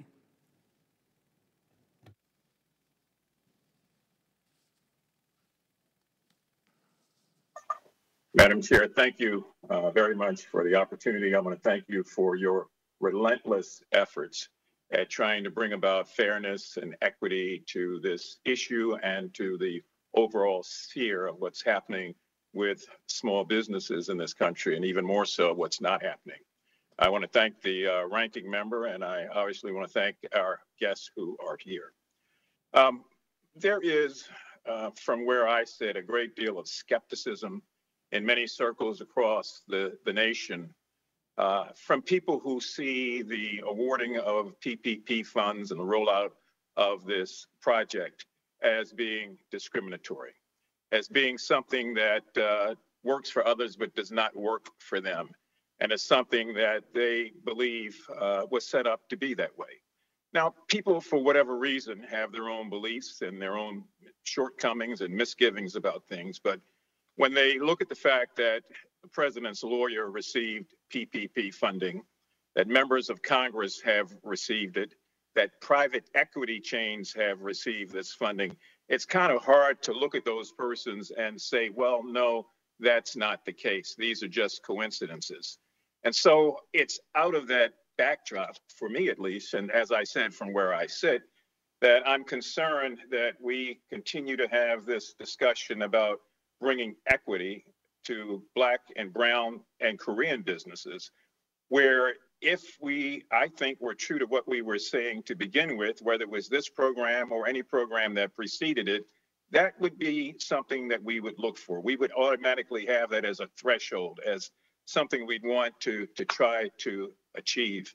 And as I said the other day, uh, Madam Chair, after having served on this committee 10 years through the 80s and the 90s, through three presidential administrations and then to be fortunate enough to return 24 years later to be a part of this Congress and again this committee, it is disheartening for me uh, to look back over that period of time and to recognize that many of the same arguments advocating on behalf of Black and Brown and Korean businesses for fairness and equity are still being made.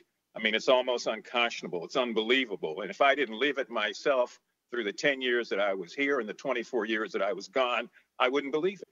Uh, people are concerned, uh, Secretary Mnuchin and, and Madam Administrator, that what they see does not gel with what they have been led to believe. They think that the awarding of this program in some way represents Robin Hood in reverse, uh, that the people who really should be getting some of this money on a fair basis are not getting it. They they anticipate that there will be another review, another study on the study, and then another plan B for the plan A that failed.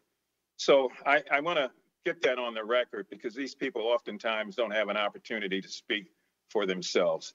Let me just say to you that in the hearing conducted by this committee on June 17th, we learned of many issues that many borrowers and lenders have faced in applying for and in using PPP dollars. Witnesses outlined various areas of improvement, including and not limited to more explicit rules, uh, clearer guidance around loan forgiveness, and more accessibility for minority owned and underserved uh, businesses. And they believe those are crucial issues. We learned that the structure and the implementation of PPP continues, as has been said, to disadvantage smaller businesses, specifically businesses of color and that's due to the structural limitations that are built into the program. Um, I think both of you would probably agree that PPP funding is uh, heavily dependent on traditional financial institutions and prior banking relationships. Many of those institutions have been documented to have bias in their awarding of loans and bias in their consideration of loans, not to mention a different assignment of risk for persons who may be Black, Latino, or, or Asian. And so those things have traditionally hampered black businesses. And now when we get to this stage in this juncture, uh, persons like myself, uh, at least I'm, you've got to show me that this is not true. Uh, prior to the June 17th hearing, both of you know that a letter was sent to each of your departments inquiring how and why uh, minority businesses have had so much trouble and being denied in many instances outright for the EIDL and the Paycheck Protection Program. We needed transparency. We requested that you immediately begin publishing the democratic, uh, demographic data on PPP recipients. On July 6th, that data was released, and our worst anecdotal observations were confirmed, especially in my congressional district, where in the entire state of Maryland, which is not a large state, not this is not California, Texas. There are only eight congressional districts. The district that I represent Gent- got gentleman's time. 2.7 percent of Gen- the funding, and, and I, um, I Time has you, expired. Chair.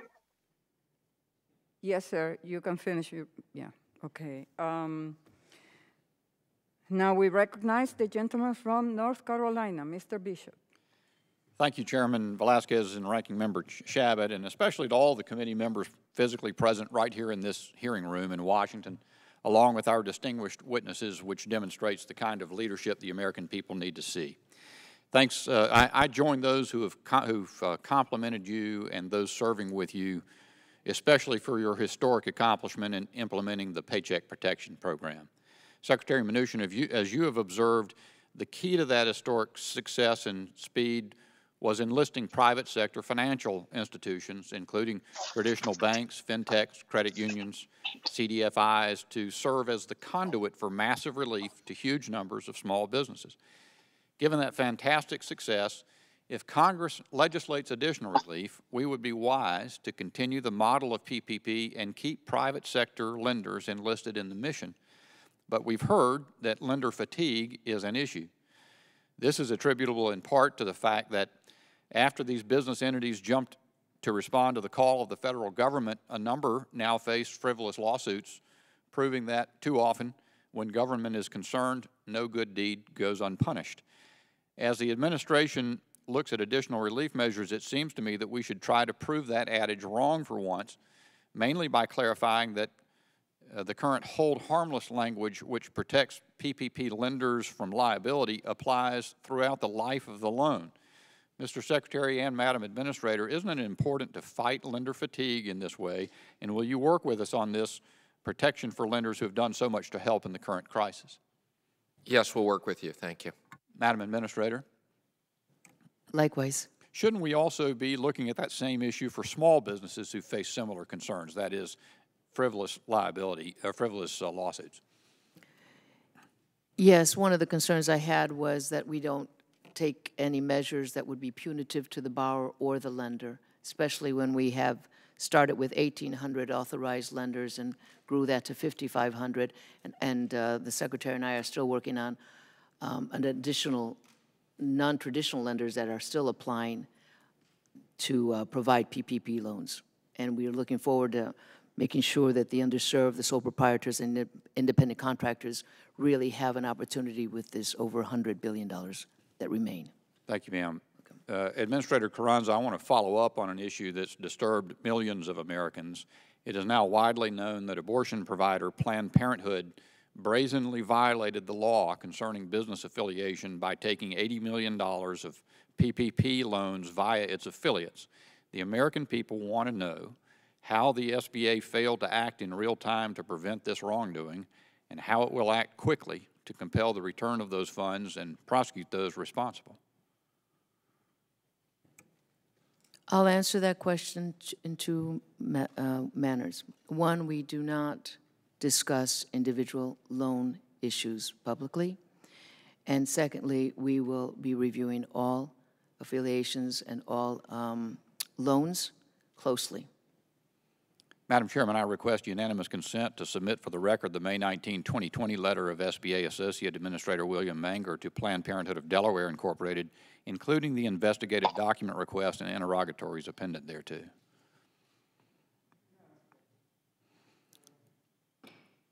finally, Mr. Secretary, uh, your testimony referred to your anticipation of additional relief to business, uh, and importantly, that it will be targeted to parts of the economy that need it most, as our economy is starting to move from lockdown to restart.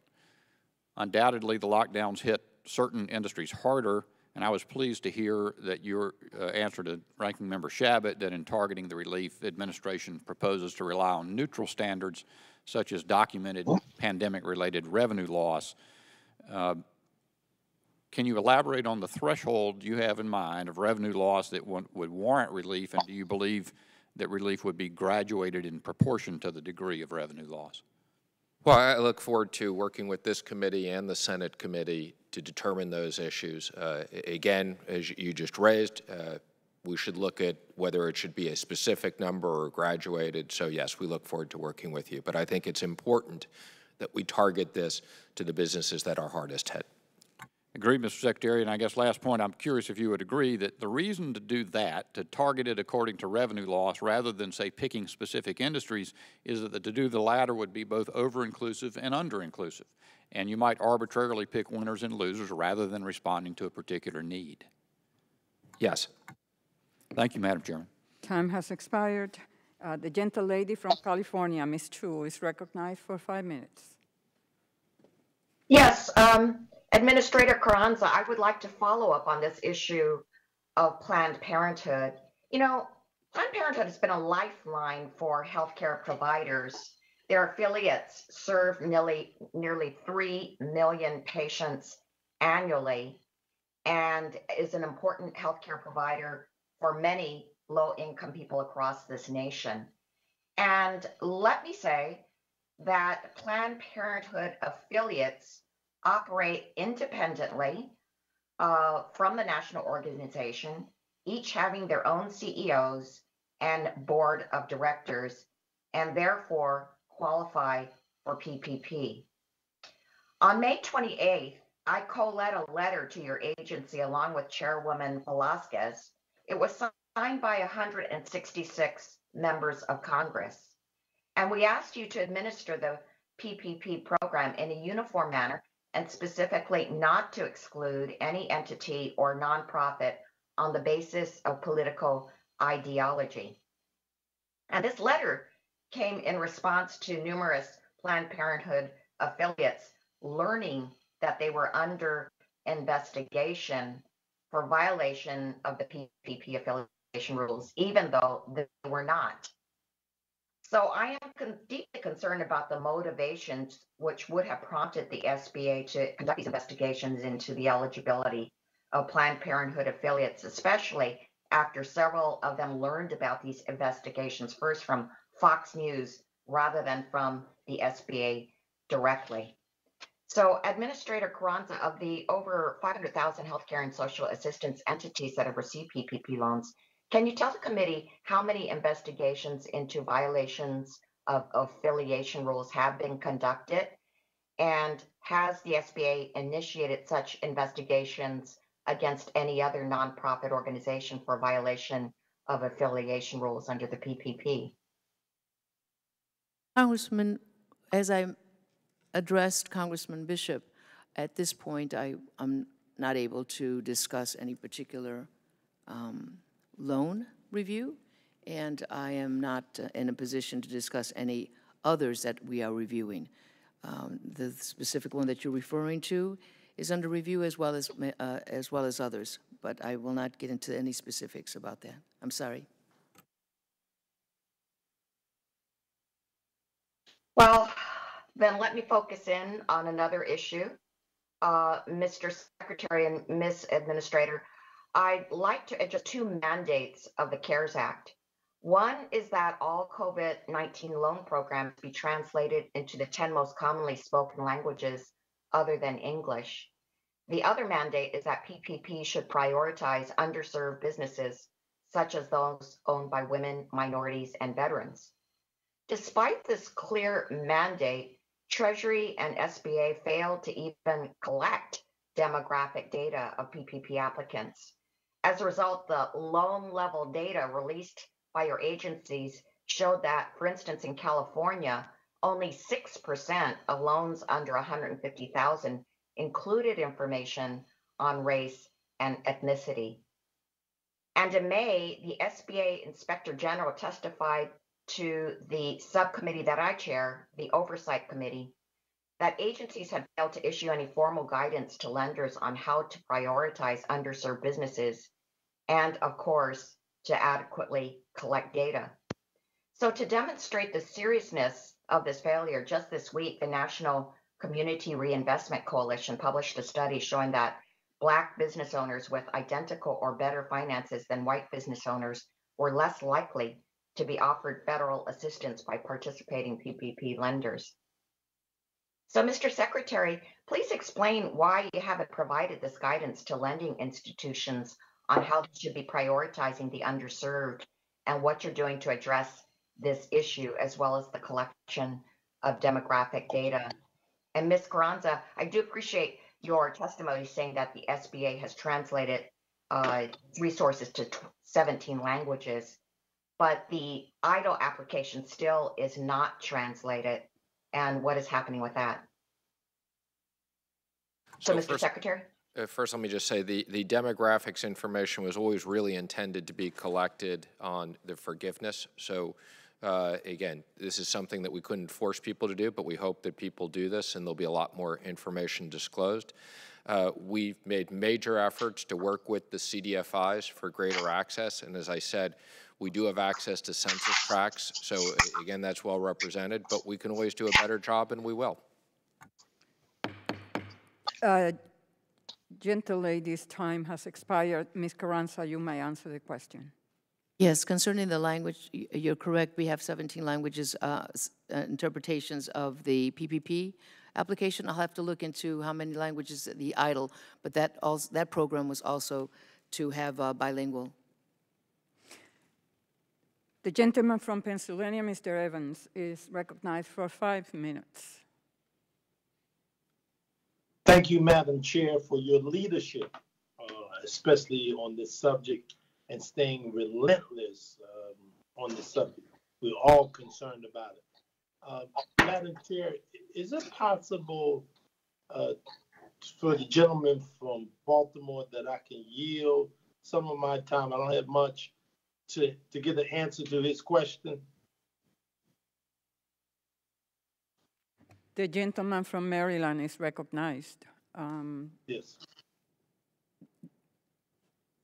Thank you, Madam Chair. I want to thank the gentleman from Pennsylvania. I will not take much of it. The point that I was trying to make, though, is that when the data did finally get released after our letter, the data that was released to all of us on uh, July the 6th, it showed, Mr. Secretary and Madam Administrator, that in the state of Maryland, which only has eight congressional districts, the one that I currently represent now got 2.7%.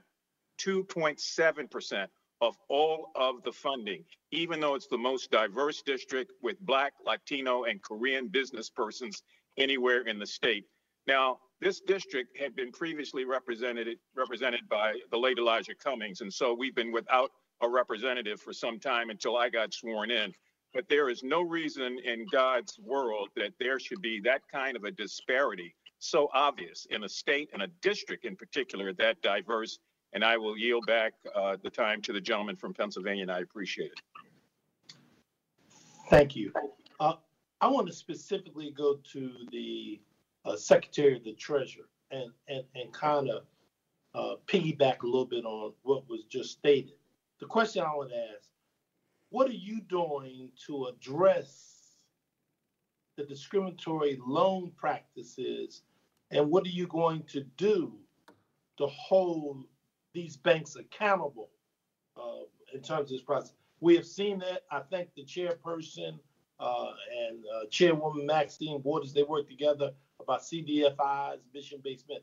What are you specifically as Secretary of Treasury? Because obviously, uh, black borrowers have been treated different than white borrowers. So, can you speak to that, uh, uh, Mr. Secretary? Well, let me first say I, I've had multiple calls with Chairwoman Waters, and, and they've been very constructive and very helpful. Uh, we've also made a major effort to work with the CDFIs and expand the CDFIs, and we're pleased with their work. Uh, Robert Smith, as I've commented before, has been particularly helpful. We've had weekly conference calls with him and his team, and we, we have to do a better job to make sure that all areas and all communities have access to these funds. And to the extent there are specific situations of discrimination or others, obviously we want to research that. Well, when you say better, better, and you have a lot of experience. I heard uh, the, the, the gentleman from Colorado ask you about your banking background. Can you, in a very specific way, tell us what tools are you intend to use, especially when you know uh, that this problem does exist? Well, let me just repeat, uh, the statistic we have on lower moderate, moderate income housing is we did have proper representation. Now that obviously is different than, than other demographics. The CDFIs, I think, are best used at being able to access the underserved communities. And that's why we, we proactively uh, put a CDFI set aside, uh, something we very much support and we support in additional legislation making sure that the CDFIs have the proper resources to serve these communities. Go to the administrator real quick. The EIDL program relating to um, constituents of mine who called about the question around credit and what. Tell me what was your thinking uh, in terms of receiving that information? Was there a ranking of order uh, relating to uh, EIDL distribution of grants? How exactly um, was yours or management around you relating to the EIDL program? The EIDL advance uh, administration was based on the number of applications that were again in the queue applying for the advance, and we based it on $1,000 per employee. It, was a, it wasn't just an arbitrary number, it was a, a well um, assessed and analyzed uh, strategy. It was discussed with members of um, the Senate Small Business Committee.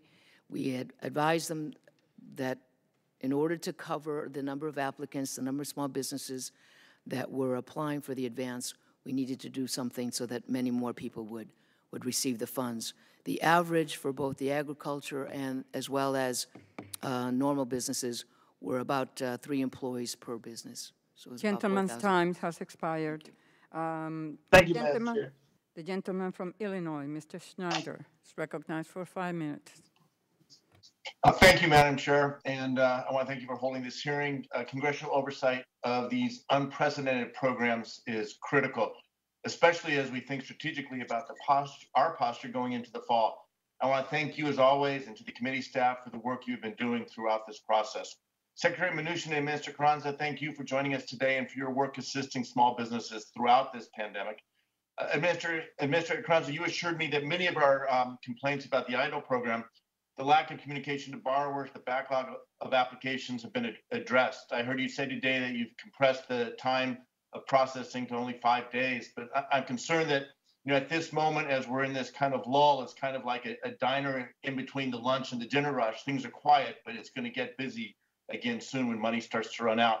When you talked about the, the $150,000 uh, as, as, a cap, and, and you, earlier you had mentioned that we, through our work, had, had provided a bridge.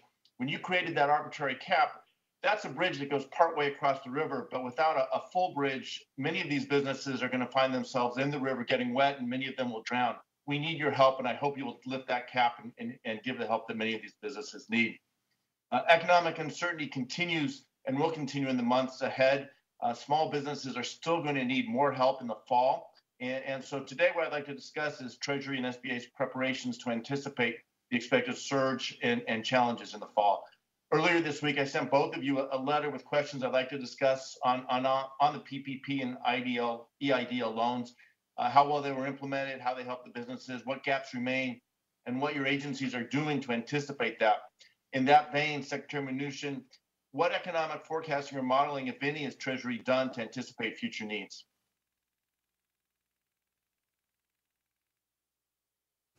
So, uh, is I think economic modeling is particularly hard at the moment because of the fact that we closed down the economy. This is not a, a, typical economic situation, but we are relying upon our economic models where we do anticipate as we open the economy that uh, we will have a significant improvement, as I've said in the third quarter, but there will be industries, and we've done economic modeling uh, within the Treasury on the industries that are going to be hit the hardest and the sizing that we need of additional PPP funds to address that. And we'll be working with this committee and with the Senate on that. Do your models take into account the fact, as we're seeing in, in California, Texas, Arizona, um, Louisiana, Florida, a, a, serious spike in, in cases. Uh, in California, you're seeing businesses close down again. Do the models take that into consideration?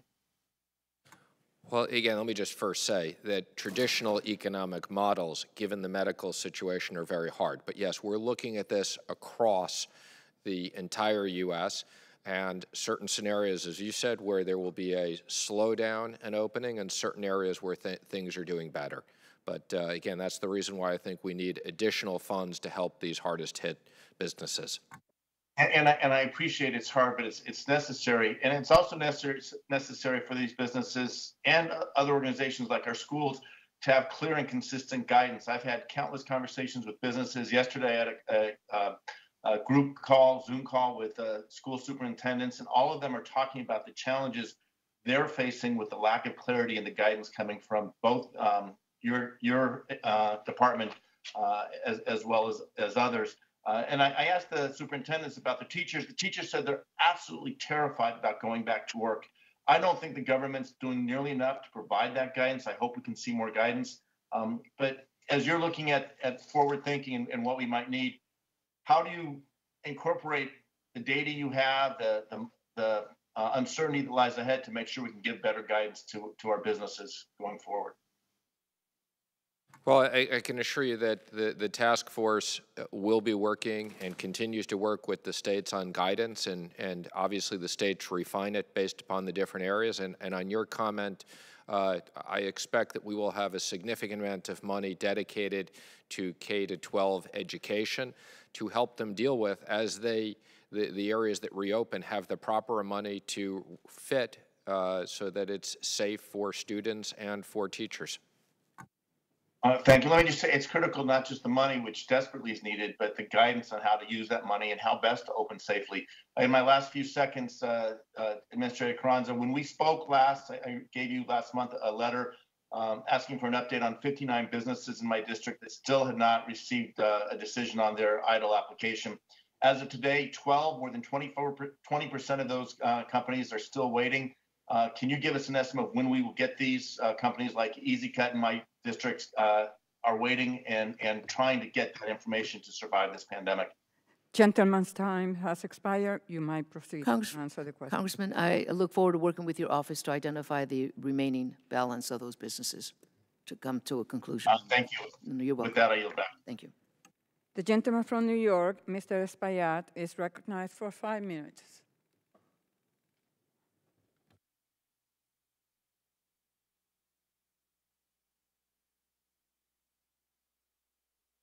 Mr. Espaillat, you need to unmute yourself.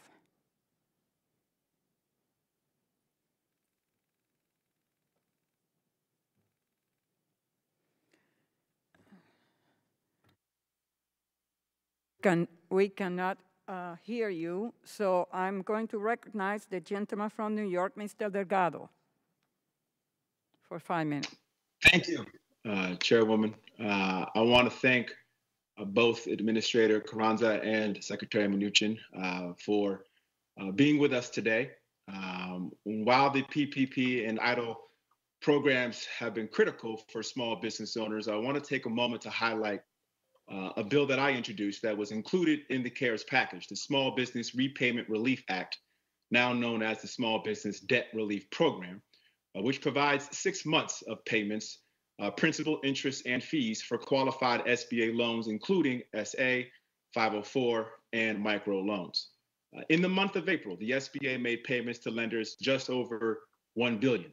Uh, these payments corresponded to 263,192 total borrowers. However, estimates provided by the Congressional Research Service indicate that there are about 320,000 outstanding loans across these three programs. Administrator Carranza, you noted during a Senate Small Business Committee hearing last month that the SBA had taken steps to notify borrowers of this benefit, but needed to do more outreach to ensure borrowers who are eligible are aware of this benefit. Can you tell me what concrete steps you've taken to ensure that every eligible borrower is able to take advantage of these six months of payments? Yes, we dealt with the lenders and intensified the communications. As a result of that, we have realized it's gone from 1 billion to $3 billion of uh, debt relief. And we can do more because, uh, as you stated, um, there's still an opportunity to, to work not only with the existing businesses, but others that are interested. And um, our 7A has grown significantly, which we're very um, pleased about. 504 is not growing um, as quickly, so we need to intensify uh, in that particular area. I'm very pleased to announce that within the HUBZone, as you know, the 504 falls into that area, the underserved market. We have over $106 billion that have been appropriated under the PPP program. I look forward to working with your office uh, if you have any particular areas that you'd like me to concentrate on. Well, I, I, would like to just follow up, if I may. You, you said you contacted uh, the lenders, um, and then you said you can do more. So I'm curious if um, you be able to detail what the more would include. Uh, follow-up calls to the individuals that we um, initially contacted through our Office of Capital Access. Anything else?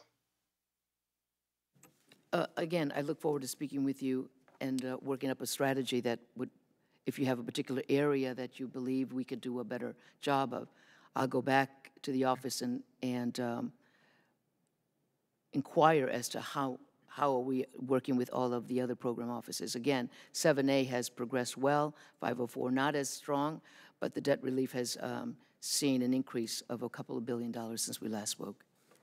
That is to say, have, since the hearing. Given, Thank you.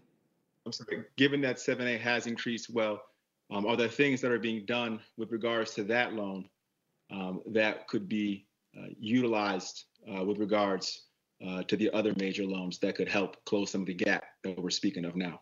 Well, Congressman, we've been talking about perhaps strengthening up all of the flagship uh, loans, and we've been communicating that information to Treasury. Mm-hmm. Okay, we should definitely coordinate uh, with our offices and, and, talk through a bit more what other concrete steps we could take uh, to help facilitate this. You know, we also don't know uh, how much has been spent through this program uh, since May. We don't know how much has gone to new qualified loans compared to existing. We don't know how many borrowers have yet to receive it. We don't know which lenders have failed to comply. Uh, on June 5th, Senator Coons and I sent a letter requesting this information. Do you have this information available or when can we expect this information? I look forward to working with your staff, and um, it, if we have the data, which we reconcile on a quarterly basis, from what I understand, uh, we can make that available to you in short order. We sent the letter on, on June 5th, and I just want to know if have you been a receipt of the letter? I'm sure our Congressional Legislative Office is working on it, sir. So I look forward, again, to connect with your office and uh, resolve th that particular issue and yeah, we, provide we you the information that you need. I appreciate that. We certainly would like to expedite this process, uh, given you know the urgent needs in the ground. Um, Hello. Thank you. I'm sure you can imagine the importance of that. So uh, with that, I'll yield back my time. Uh, the gentleman yields back. Uh, Mr. Espaillat? Is recognized for five minutes. He's not ready. They're having some technicalities issues. Uh, the gentle lady from Minnesota, Ms. Craig. Can you hear me now, Madam Chair? Yes, I can hear you. Okay. Uh, will you allow will, will, you allow me to proceed? Go ahead. Thank the you, Madam Chair. recognized for five you. minutes. Thank you, Madam Chair, and thank you, Ranking Member. Thank you, Administrator uh, Carranza and Secretary Mnuchin. Uh, uh, several months back, uh, I, te- I spoke at this uh, committee, and I said that uh, small businesses, mom and pop stores throughout New York, were really upset and were mad as hell because we all know, and I'm really amazed to see how everybody's praising the PPP program and how it began because we all know it was a debacle. The, the portal crash, uh, traditional banking institutions went to their preferred customers, and only the well heeled and, and connected were able to get uh, access to the PPP program to the degree that many of them were shamed into returning the money because they were publicly embarrassed that they were accessing this money, this money, and, and small businesses throughout America felt that Main Street should be uh, bailed out. You know, we've already bailed out Wall Street. We've already bailed out the airline industry. We already bailed out a bunch of industry, but Main Street needed to be bailed out. And the, the startup of the PP program was a debacle. It, in fact, it took a carve out of some money and acknowledging that we needed to engage community-based banking and and CDFIs to access dollars and give them to the small businesses across our Main Street in America. But even with that, we just recently seen how a New York Times, a Wall Street Journal report uh, on an, an investigation made by the New York City Comptroller revealed that only 12 percent of the 1.1 million businesses, employee based businesses in New York City, got PPP loans, in comparison to 20% of businesses in states like Montana, Kansas, Iowa, Wyoming, etc. While the pandemic was ravaging New York, the PPP program was giving money to those states that were the least impacted by the pandemic. So my first question is to you, Secretary. You mentioned that you will carve out some money for minority and women-owned businesses. How much money from the remaining part of the PPP program and additional funding that will come for it will you carve out for that particular uh, part of the economy? And the second question is, uh, Mr. Secretary, is will you will you consider having some parity in the level of access to the PPP program for states like New York, which, which contribute far more to the federal coffers and contributes it contribute in ways that uh, other states don't, and yet they get far less back. Again, only 12% of businesses here got that, as opposed to 20% in states like Kansas and Wyoming and Iowa and Montana. Those are my two questions. How much money will you carve out for minority and women-owned businesses? And do you want, is there an effort to give states like New York, which are hammered, the Bronx, which was hammered by the pandemic, had one of the lowest numbers of PPP loans given to their businesses. In fact, if you look at who got the loans, you will see that many uh, management consulting firms got it, legal services firms got it, as opposed to, let's say, for example, nursing homes, which I think were critical in bringing life and death services uh, to people impacted by the pandemic. So those are my two questions, Mr. Secretary. So, as it relates to the first question, is a specific dollar amount uh, for the set aside. I'll be working with this committee and with the Senate to see what both committees think is appropriate for that. And I'm sure we can reach an agreement that's something that is appropriate and significant. As it relates to New York, uh, I'm not sure why more PPP loans haven't been made there. There's there's still money available. So to the extent there's there are businesses in, in your area that need loans, we're, we're more than happy to work with you. Um, I, I, don't believe there should be set asides for certain states. And I think, again, just we it took a while to get this up and running, but I think now we have a system that will work uh, well in the next round. Well, well, now, uh, Mr. Mr. Secretary, now that the pandemic is ravaging the rest of the country, states like Florida. You must agree, right, that Florida, Texas, Arizona are getting hard hit right now. And in fact, some of those businesses may have to shut down. Uh, perhaps as New York looks to reopen, this is the perfect time uh, to uh, focus in, in places in New York to see how we can help out New York. As goes New York, goes the rest of the country. And so, is there a commitment to help, you know, small businesses Gen- minority women-owned businesses in New York State. Gentleman's time has expired. Now we recognize the gentle lady from Minnesota, Ms. Craig. Thank you so much, Madam Chairwoman. And uh, I want to say thank you to Administrator uh, Carranza and Secretary Mnuchin for uh, your efforts over the course of the last three months. Um, this committee uh, has been really uh, a, model of bipartisan efforts uh, to save our small businesses. So I just want to say thank you to my colleagues uh, across the aisle as well. Um, Secretary Mnuchin, uh, I was going to ask you and Administrator Carranza about extending um, the PPP applications for a second loan. You've indicated that uh, you are open to that idea. Uh, I actually have the bill here in the House that would allow those hardest hit sectors like restaurants and retail and hospitality to come back and get a second forgivable loan if their revenue has been impacted by 50% or more and the size of their business is 100 or fewer employees uh, with that uh, remaining uh, approximately $130 billion. I also had the bill a couple of weeks ago that passed the House, and thank you to uh, the President for signing the extension of the loan program uh, through August 8th. I will tell you that uh, I already this week have been meeting with small lenders who, um, community lenders who have been telling me that smallest of smallest businesses uh, loans of uh, $6,000, $9,000.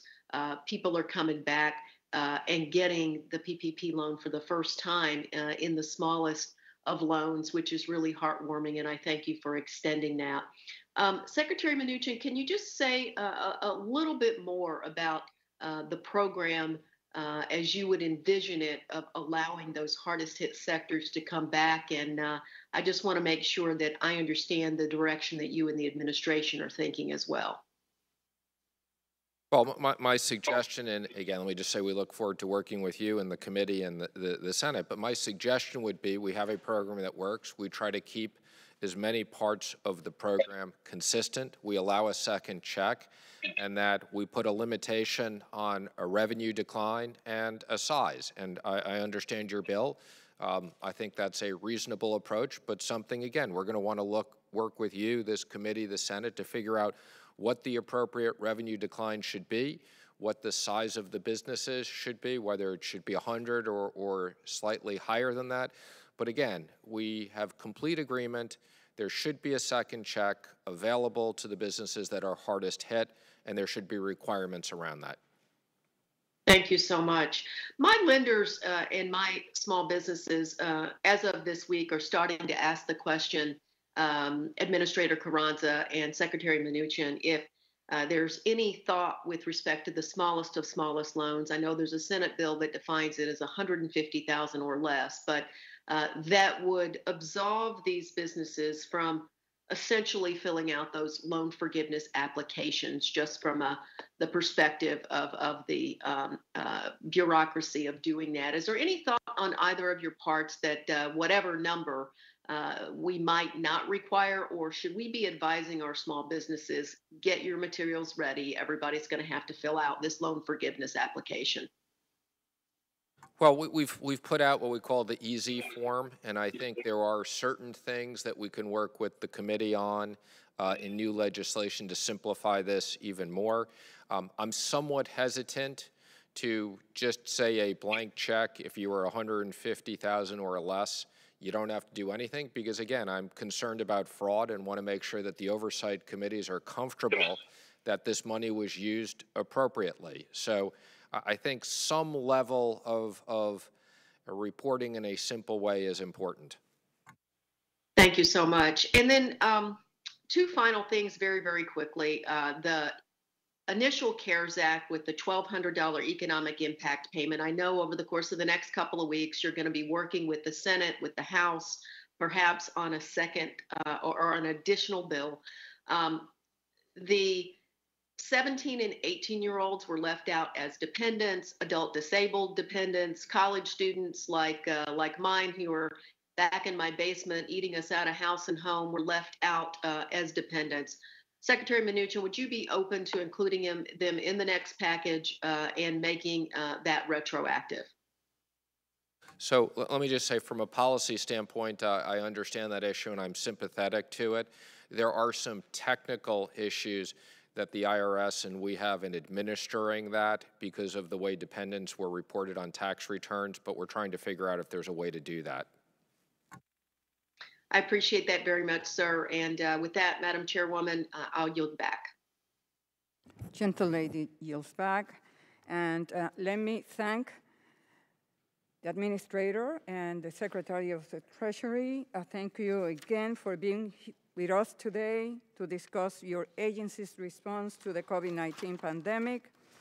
I am dedicated to pushing SBA and Treasury to prioritize our very small and underserved businesses because these communities are hurting.